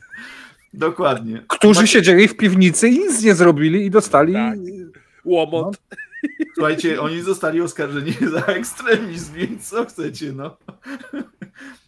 Więc No, tutaj okej. macie, widzicie, widzicie, co robił Prigorzin, szedł na Moskwę, tak? Zaj, zajęliśmy Rostów, zajęliśmy Woronerz, a turbopatrioci siedzieli w piwnicy i rozmawiali. I Dzisiaj oni mają po 5 lat, nie? No przynajmniej Girkin ma 5 lat. A ile naprawdę? Tego nikt nie wie. Tak. Ja zostawię swój komentarz na wtorek. O, to mi się Dobra. podoba. Dobra. To, to z E. Afryką to chyba tyle, nie? Tak, tak. I teraz pytanie, myślę, że jeżeli nie macie nic przeciwko, byśmy troszkę ekonomicznie pogadali. No już zaczęliśmy o tej ekonomii w sumie. Tak. To już nie, nie koniec jeszcze? Okej. No, mamy jeszcze temat gazu. Jeszcze godzinkę, rozumiem, dobrze. Mamy temat gazu i magazynów gazu. Yy, Tak. Śpijcie spokojnie, rodacy. Nie braknie nam na zimę. Mhm. Według y, statystyk najprawdopodobniej przed zimą będziemy mieli zapełnione w 90%. Tak, Paweł? Czy... No na ten moment mamy 87, a jest środek lata. To bardzo Mhm. dobrze. Wszystko wskazuje, że będzie na full. Jeżeli chodzi o zieloną energię, ogólnie produkcję energii w Europie, no są duże wzrosty i również takie się zapowiadają. Dosyć dużo inwestycji też ma być na jesieni oddanych. Mhm. Jeżeli chodzi o europejską energetykę, amerykański gaz e, szeroko płynie. Mm, Wydaje się, że bo tam jakiś czas temu Rosjanie, znaczy to sami Rosjanie przyznają, e, już większość rosyjskich mediów, że te obawy i te takie tych naszych ekspertów, którzy mówili, że no w zeszłym roku to się udało, bo ciepła zima i tak dalej, i tak dalej, więc słuchajcie, nic się nie udało. W tym roku też będzie ciepła zima i ilość jak gdyby na ten moment, jeżeli chodzi o stany magazynowe, starczą przynajmniej. Już teraz wiemy, że do kwietnia, a produkcja nie ustanie. Jeżeli nie będzie, nie wiem, jakiegoś. Jak do kwietnia? W sensie, Armagedonu. czekaj, nasze, nasze, nasze magazyny starczą do kwietnia? Zostały rozbudowane? Nie europejskie. Sezon grzewczy. Aha, europejskie. Europejskie, tak, jak Okej. gdyby wiesz. A czy macie jakąś Nasze informację, bo, bo ja nie widziałem, bo kiedyś mieliśmy y, magazyny gazu na 3 miesiące plus minus. Czy wiecie coś, czy może w ostatnim roku rozbudowywaliśmy? To bym Wiemy. poprosił o informację. Wiemy, mamy w tym momencie. Na ile mieliśmy? Na 3 miesiące chyba z tego co pamiętam. Nie. Półtora Nie? miesiąca, dwa miesiące, jak się tam wiesz, będziesz Aha. oszczędzał. Okej. Tak, na Łotwie będzie magazyn, który będziemy współdzielić już e, w razie potrzeb. O, on Mhm. będzie na tak naprawdę na Łotwę, Bałtyki, na Polskę. E, W tym momencie, jeżeli chodzi o ilość, zmaga- możliwość zmagazynowania tam gazu, to jest mniej więcej tyle co Polska, więc można powiedzieć, że tutaj O, sobie podwajamy. Ale to jakieś y, naturalne y, uwarunkowania, czy po prostu sztuczny tak duży został wybudowany? Oni, wiesz co, potrzebują, żeby ten gaz głównie przetłoczyć z tego swojego gazoportu, który, który tam pobudowali, tak. Mhm. A więc Okej. y, im, i wiesz, i nie potrzebują tak dużej ilości, a więc my w jakimś stopniu będziemy w tym partycypować. Okej, no to to jest... Zobaczymy, e, wiesz, na- e, jak, no. jak to będzie. Nie chcę jak gdyby wszystkich rzeczy tutaj ten e, mówić, bo pewnie część jest objęta jakąś tam tajemnicą. Natomiast jeżeli chodzi o gaz, nie ma zagrożenia. Jeżeli chodzi o. No chyba żaden surowiec na ten moment. Ale chyba jeszcze e, jedna rzecz. Nasz gazoport y, zwiększy ilość tamtejszych silosów gazowych. Tak, gazoport jeszcze. zwiększy, tak. jeżeli Więc to jest dodatkowy o- rezerwuar do Tak. tego wszystkiego. No i Baltic Pipe płynie na pełnej mocy już chyba, tak? Tak, już płynie na pełnej mocy też, te, więc jeżeli się porównujemy z zeszłym rokiem, że on tylko część. No ale wiesz, w zeszłym roku też mieliśmy część początek roku od Rosjan, nie? Więc tam. No w każdym bądź razie no nie ma takiej możliwości, musiałoby coś wybuchnąć i to po naszej stronie i to kilka rzeczy wybuchnąć. Myślę, że do tego nikt nie dopuści. Mam taką nadzieję. A jeśli Okej. jeszcze w międzyczasie będzie u nas szła, y, będzie szedł rozwój y, biogazowni, które będą wykorzystywały gaz do produkcji i energii, i ciepła, no to będziemy swoją poduszkę tą bezpieczeństwa gazowego mieć większą. Yy, Wiesz co, to jeszcze idzie powoli, no nie mo- Tak, ale znaczy naj- najszybciej w Austrii idzie. W Austrii Tak. to tam mają jakieś yy, rekordowe tempo, bo oni do w 2025 będą niezależni na samych biogazowniach od tego rosyjskiego gazu. Bo, Bo w sumie u nich yy, każda gmina będzie Mhm. miała co najmniej jedną biogazownię. E, To komponuje jeszcze z jedną rzeczą. Można się zdziwić, ale tam, gdzie jest duże spożycie mięsa drobiowego jest i produkcja jajek, i konsumpcja jajek, musi być odpowiednio dużo kurników z tym wszystkim. I spinając właśnie produkcję Akurat drobiu, było oczywiste. spinając produkcję drobiu z pośladem, jaki produkują przy tej okazji, daje produkcję, dużo lepszą produkcję właśnie biogazu. No tak. Więc y, te rzeczy idą ze sobą w parze. A mięso drobiowe jest chyba coraz częściej podstawą jednak y, żywnościową dla wszystkich względem mięs czerwonych.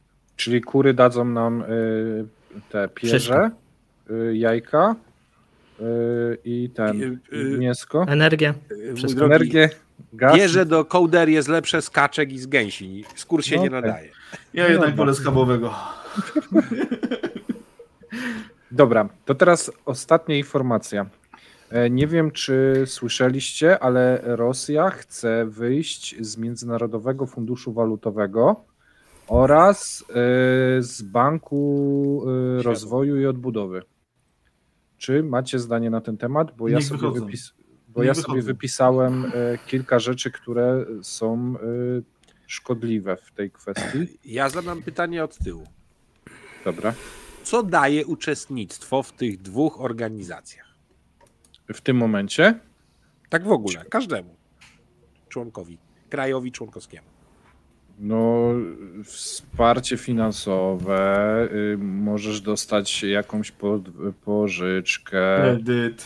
e, kredyt, zaufanie od inwestorów, wsparcie techniczne, bo IMF oferuje wsparcie techniczne dla krajów w zakresie ekonomii, polityki A fiskalnej. co w zamian? O, o, no, składeczkę trzeba płacić. Składeczka, Mhm. stosowanie się do reguł Tak, takich ekonomicznych, takich podstawowych. i tak Tak. dalej. Więc w tym momencie oni wychodząc spod kurateli tych przepisów, a i tak mają już opinię zrąbaną. A oni nie byli po robią. Co kurwa, No to sorry, spisowali. tu, to jest zakończenie pewnej fikcji po części. Bo oni używali MFW do swoich celów przede wszystkim, Mhm. a nie, że stosowali się do tego, co MFW narzucało. No Mhm. zawsze tak grali. Znaczy, y, teore- teoretycznie wpływu nie ma żadnego, albo znikomy na Rosję, no bo ja się zgadzam z, z Maćkiem. Tutaj nie mamy e, jakiegoś takiego praktycznego, ale, ale e, w mojej Mm. ocenie jest to bardzo błędna decyzja, albo, znaczy z punktu widzenia Rosji. Dlaczego? No bo to są, bo jednym z tych aspektów, dlaczego się na- należy, z- y, pomimo, że moim zdaniem te instytucje są biurokratyczne, skostniałe, y, ciulowate i dużo złego o nich można powiedzieć, Niemniej dają pewien prestiż i nieprzynależenie do nich no, powoduje pewien ostracyzm. Nie? Można Tak dużo złego o tych instytucjach powiedzieć, e, że mało robiły, mało robią, dużo szkody też robią mm, w wielu krajach, ale nienależenie to jest błąd. Dlatego, że to są jakieś kolejne, wiesz, takie autosankcje. Jeżeli, wiesz, do tego dodamy tą sprzedaż tego, wykup tego majątku zachodniego, wykluczenie się z instytucji takich międzynarodowych, finansowych, Taki, takie wiesz, y, certyfikat To taka Korea y, jakiej jakości wiesz, finansowej, nie? Że no, y, teraz wyjechały biznesy i wszyscy mówią, skończy się wojna i wrócą. No to my Tak. opowiadamy, że nie, bo właśnie No ich orżnęli właśnie. na dziesiątki miliardów dolarów, trzymali ich za, na siłę przez półtora roku i nie pozwalali wyjść. Więc jak tylko się wyrwą i stracą niemal cały biznes, bo go sprzedadzą za 10 czy 20%, a w międzyczasie e, Rosja sama się wykopie z instytucji międzynarodowych, finansowych, no to dla inwestora, który ma wysłać tam kasę, macie y, po prostu informację, nie idź tam. To nie ma jest sensu. jeszcze jedna rzecz. Ale Dzięki zauważ obec- jeszcze... Mhm. Dzięki tak, obecności mów, w Maciek. takich instytucjach podlegał między innymi pod pewne formy arbitrażu i było się komu gdzie poskarżyć, To jeśli prawda. coś. A w tym momencie, kiedy oni tak, jak zrobili teraz Danonowi i Carlsbergowi, przejmując de Tak. facto ich aktywa, sorry Winetu, ale w tym momencie no, nie będą mieli nawet gdzie się poskarżyć i będą musieli dochodzić tego w inny sposób, tak chociażby jak Naftocha z Ukrainy odszkodowań e, za zajęty majątek na Krymie. I tylko dzięki temu, co jest zamrożone na Zachodzie, będą mogli uzyskać rekompensaty. Ale mówisz, że nie mają się komu poskarżyć, ale te firmy, które zostały ograbione. Tak, No, te tak. firmy. Tak. Mhm. Myślałem, że Rosjanie i mówię, komu Nie, się będą skarżyli, że zabrali. Ja też Polska- na początku tak pomyślałem. No. Polska też jest stroną kilku umów, dzięki którym na przykład Nie. konsorcjum Juriko dostało odszkodowanie od państwa polskiego za pewne rzeczy, prawda? I teraz zostaną albo takie bilateralne umowy, albo nic. Ale nie jest właśnie, ale słuchajcie, ale to Maciek w sumie z, y, podsunął y, ciekawą myśl. Nie jest to tak, że po prostu wychodząc z tych instytucji i, i, i tracąc możliwość firmy zachodnie właśnie poskarżenia się na Rosję, to teraz Rosja ma autostradę do nacjonalizacji tych firm. Mm. Bo komu się poskarżyć? Z niektórymi już zaczęła. Tak. Paweł. Nie ma, Paweł wiesz jakieś co, zdanie. nie ma, nie ma znaczenia. Znaczy, i mi się Ale wydaje, nie, no ale co, teraz nie ma, ale na przykład za 5 lat te firmy mogłyby do, do tych i instytucji tak się mogą. Nie, no i tak mogą. To, to nie ma Aha. znaczenia, wiesz, z punktu widzenia Okej. takiego prawno-ekonomicznego. E, Zwróć uwagę, że kiedyś e, była taka dyskusja w Rosji, zarówno Kudrin, mm, który zresztą ostatnio pojawił się na tej liście sankcyjnej, e, jak i Nabiulina były przeciwko wychodzeniu i ostrzegały, żeby tego nie robić, tak, że to będzie miało takie długofalowe Ja konsekwencje. tam, ja tam lubię, y, jak Nabiulina mówi, bo ona rozsądnie mówi zazwyczaj i jej nie Yy, słuchają, a bardzo nie rozsądnie słuchają. mówi. Ale wiesz co, tu wydaje mi się, że trochę ten reżim się zachowuje, mówiliśmy o tej drabinie, że on się zachowuje tak jak taka urażona panienka, tak? Tutaj robicie, dobrze, to my się z tego wycofamy, dobrze, to my nie będziemy tego przestrzegać, dobrze. Nie wyślemy wam tego gazu. Nie wyślemy, nie zrobimy. Z. Wiesz, no te, zobacz, no te sankcje, znaczy tu akurat jest może potrzebna kasa, tak? Na, natomiast no e, wykup tych zachodnich marek i to, co robi, no to jest no, taki strzał w kolano długoterminowy, nie? Bo może krótkoterminowo, no to oni zdobędą ileś kasy i na pół roku będzie dodatkowych funduszy na wojnę, ale długoterminowo dla Rosji, no to jest słabe. Tak samo wychodzenie z tych instytucji, no to jest słabe, to się gdzieś jak gdyby odbije, bo Odbije też w wiesz, te, te, Ale to jest kolejny klocek, o którym my już Tak, mówimy, że krótkoterminowo domino, znaczy, no- zdobywają kasę, natomiast dwa razy więcej tracąc jej długoterminowo. I my to cały czas opisujemy, że tak, tu teraz zyskali, ale przez ten ruch za dwa, trzy lata muszą y, stracić dwa razy więcej przez to. I tu będzie podobnie, nie? Że, że te składeczki czy coś, to będzie nic w porównaniu do tego, co y, będzie za dwa czy trzy lata, gdy będą potrzebowali jakiegoś na Mhm. przykład wsparcia finansowego, nie? Bo zmieni się rząd, będą chcieli być, wiecie, y, ekodemokraci i coś tam, coś tam, a nie będą w tych instytucjach i wszyscy powiedzą, no sorry. Bo właśnie oni mogą wrócić później, ktoś ich może przyjąć Tak, albo powiedzieć e, sorry, nie? Czy po prostu tam się, się czy liczy się hajs i tyle?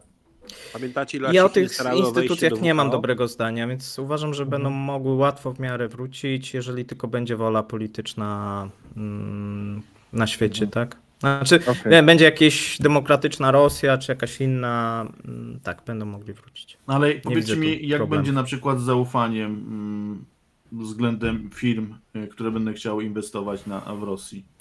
Jak wszędzie zawsze. Będą firmy, które będą chciały inwestować, będą firmy, które nie będą chciały inwestować. To jest jak gdyby rachunek e, potencjalnego zysku i potencjalnego ryzyka. Rozumiem. Nie? Tylko, że Wiesz, teraz, no w tym y, momencie właśnie ryzyko wychodząc zwiększają to ryzyko, nie? No bo Mhm. nagle ktoś, nawet te, te, te firmy chińskie mówią, nie, ale oni się ostatnio wycofali z tego funduszu, kurczę. Nie, no to No, zawsze jest jakiś tam kamyczek. tak? Tak, jest jakiś tam kamyczek e, Stawki do tego, że musisz wzrosną to ryzyko, że tak powiem, ten, a więc potencjalny zysk musi się zwiększyć. No bo jeżeli masz do zainwestowania, jeszcze raz mówię, w Wietnamie lub w Rosji, zysk jest zbliżony, albo nawet w Rosji jest wyższy, ale ryzyko w Rosji jest większe, że coś się stanie z tym zainwestowanym majątkiem, no to zainwestujesz w W Wietnamie. Wietnamie. Mhm. Czy w Polsce, W Polsce. O, w Polsce. patrząc bliżej, nie? Bo to też y, takie ruchy mogą być, nie? Że firmy, które wyszły tam, mogą chcieć ulokować kapitał na przykład. Ale swego czasu, Mateuszu, pojawiały się takie informacje, że firmy, które będą wracały w ten region, będą inwestować właśnie w Polsce, dlatego że e, to jest w miarę stabilny e, rejon, geo, geograficznie no, centralna Europa, więc można wysyłać na różne kierunki.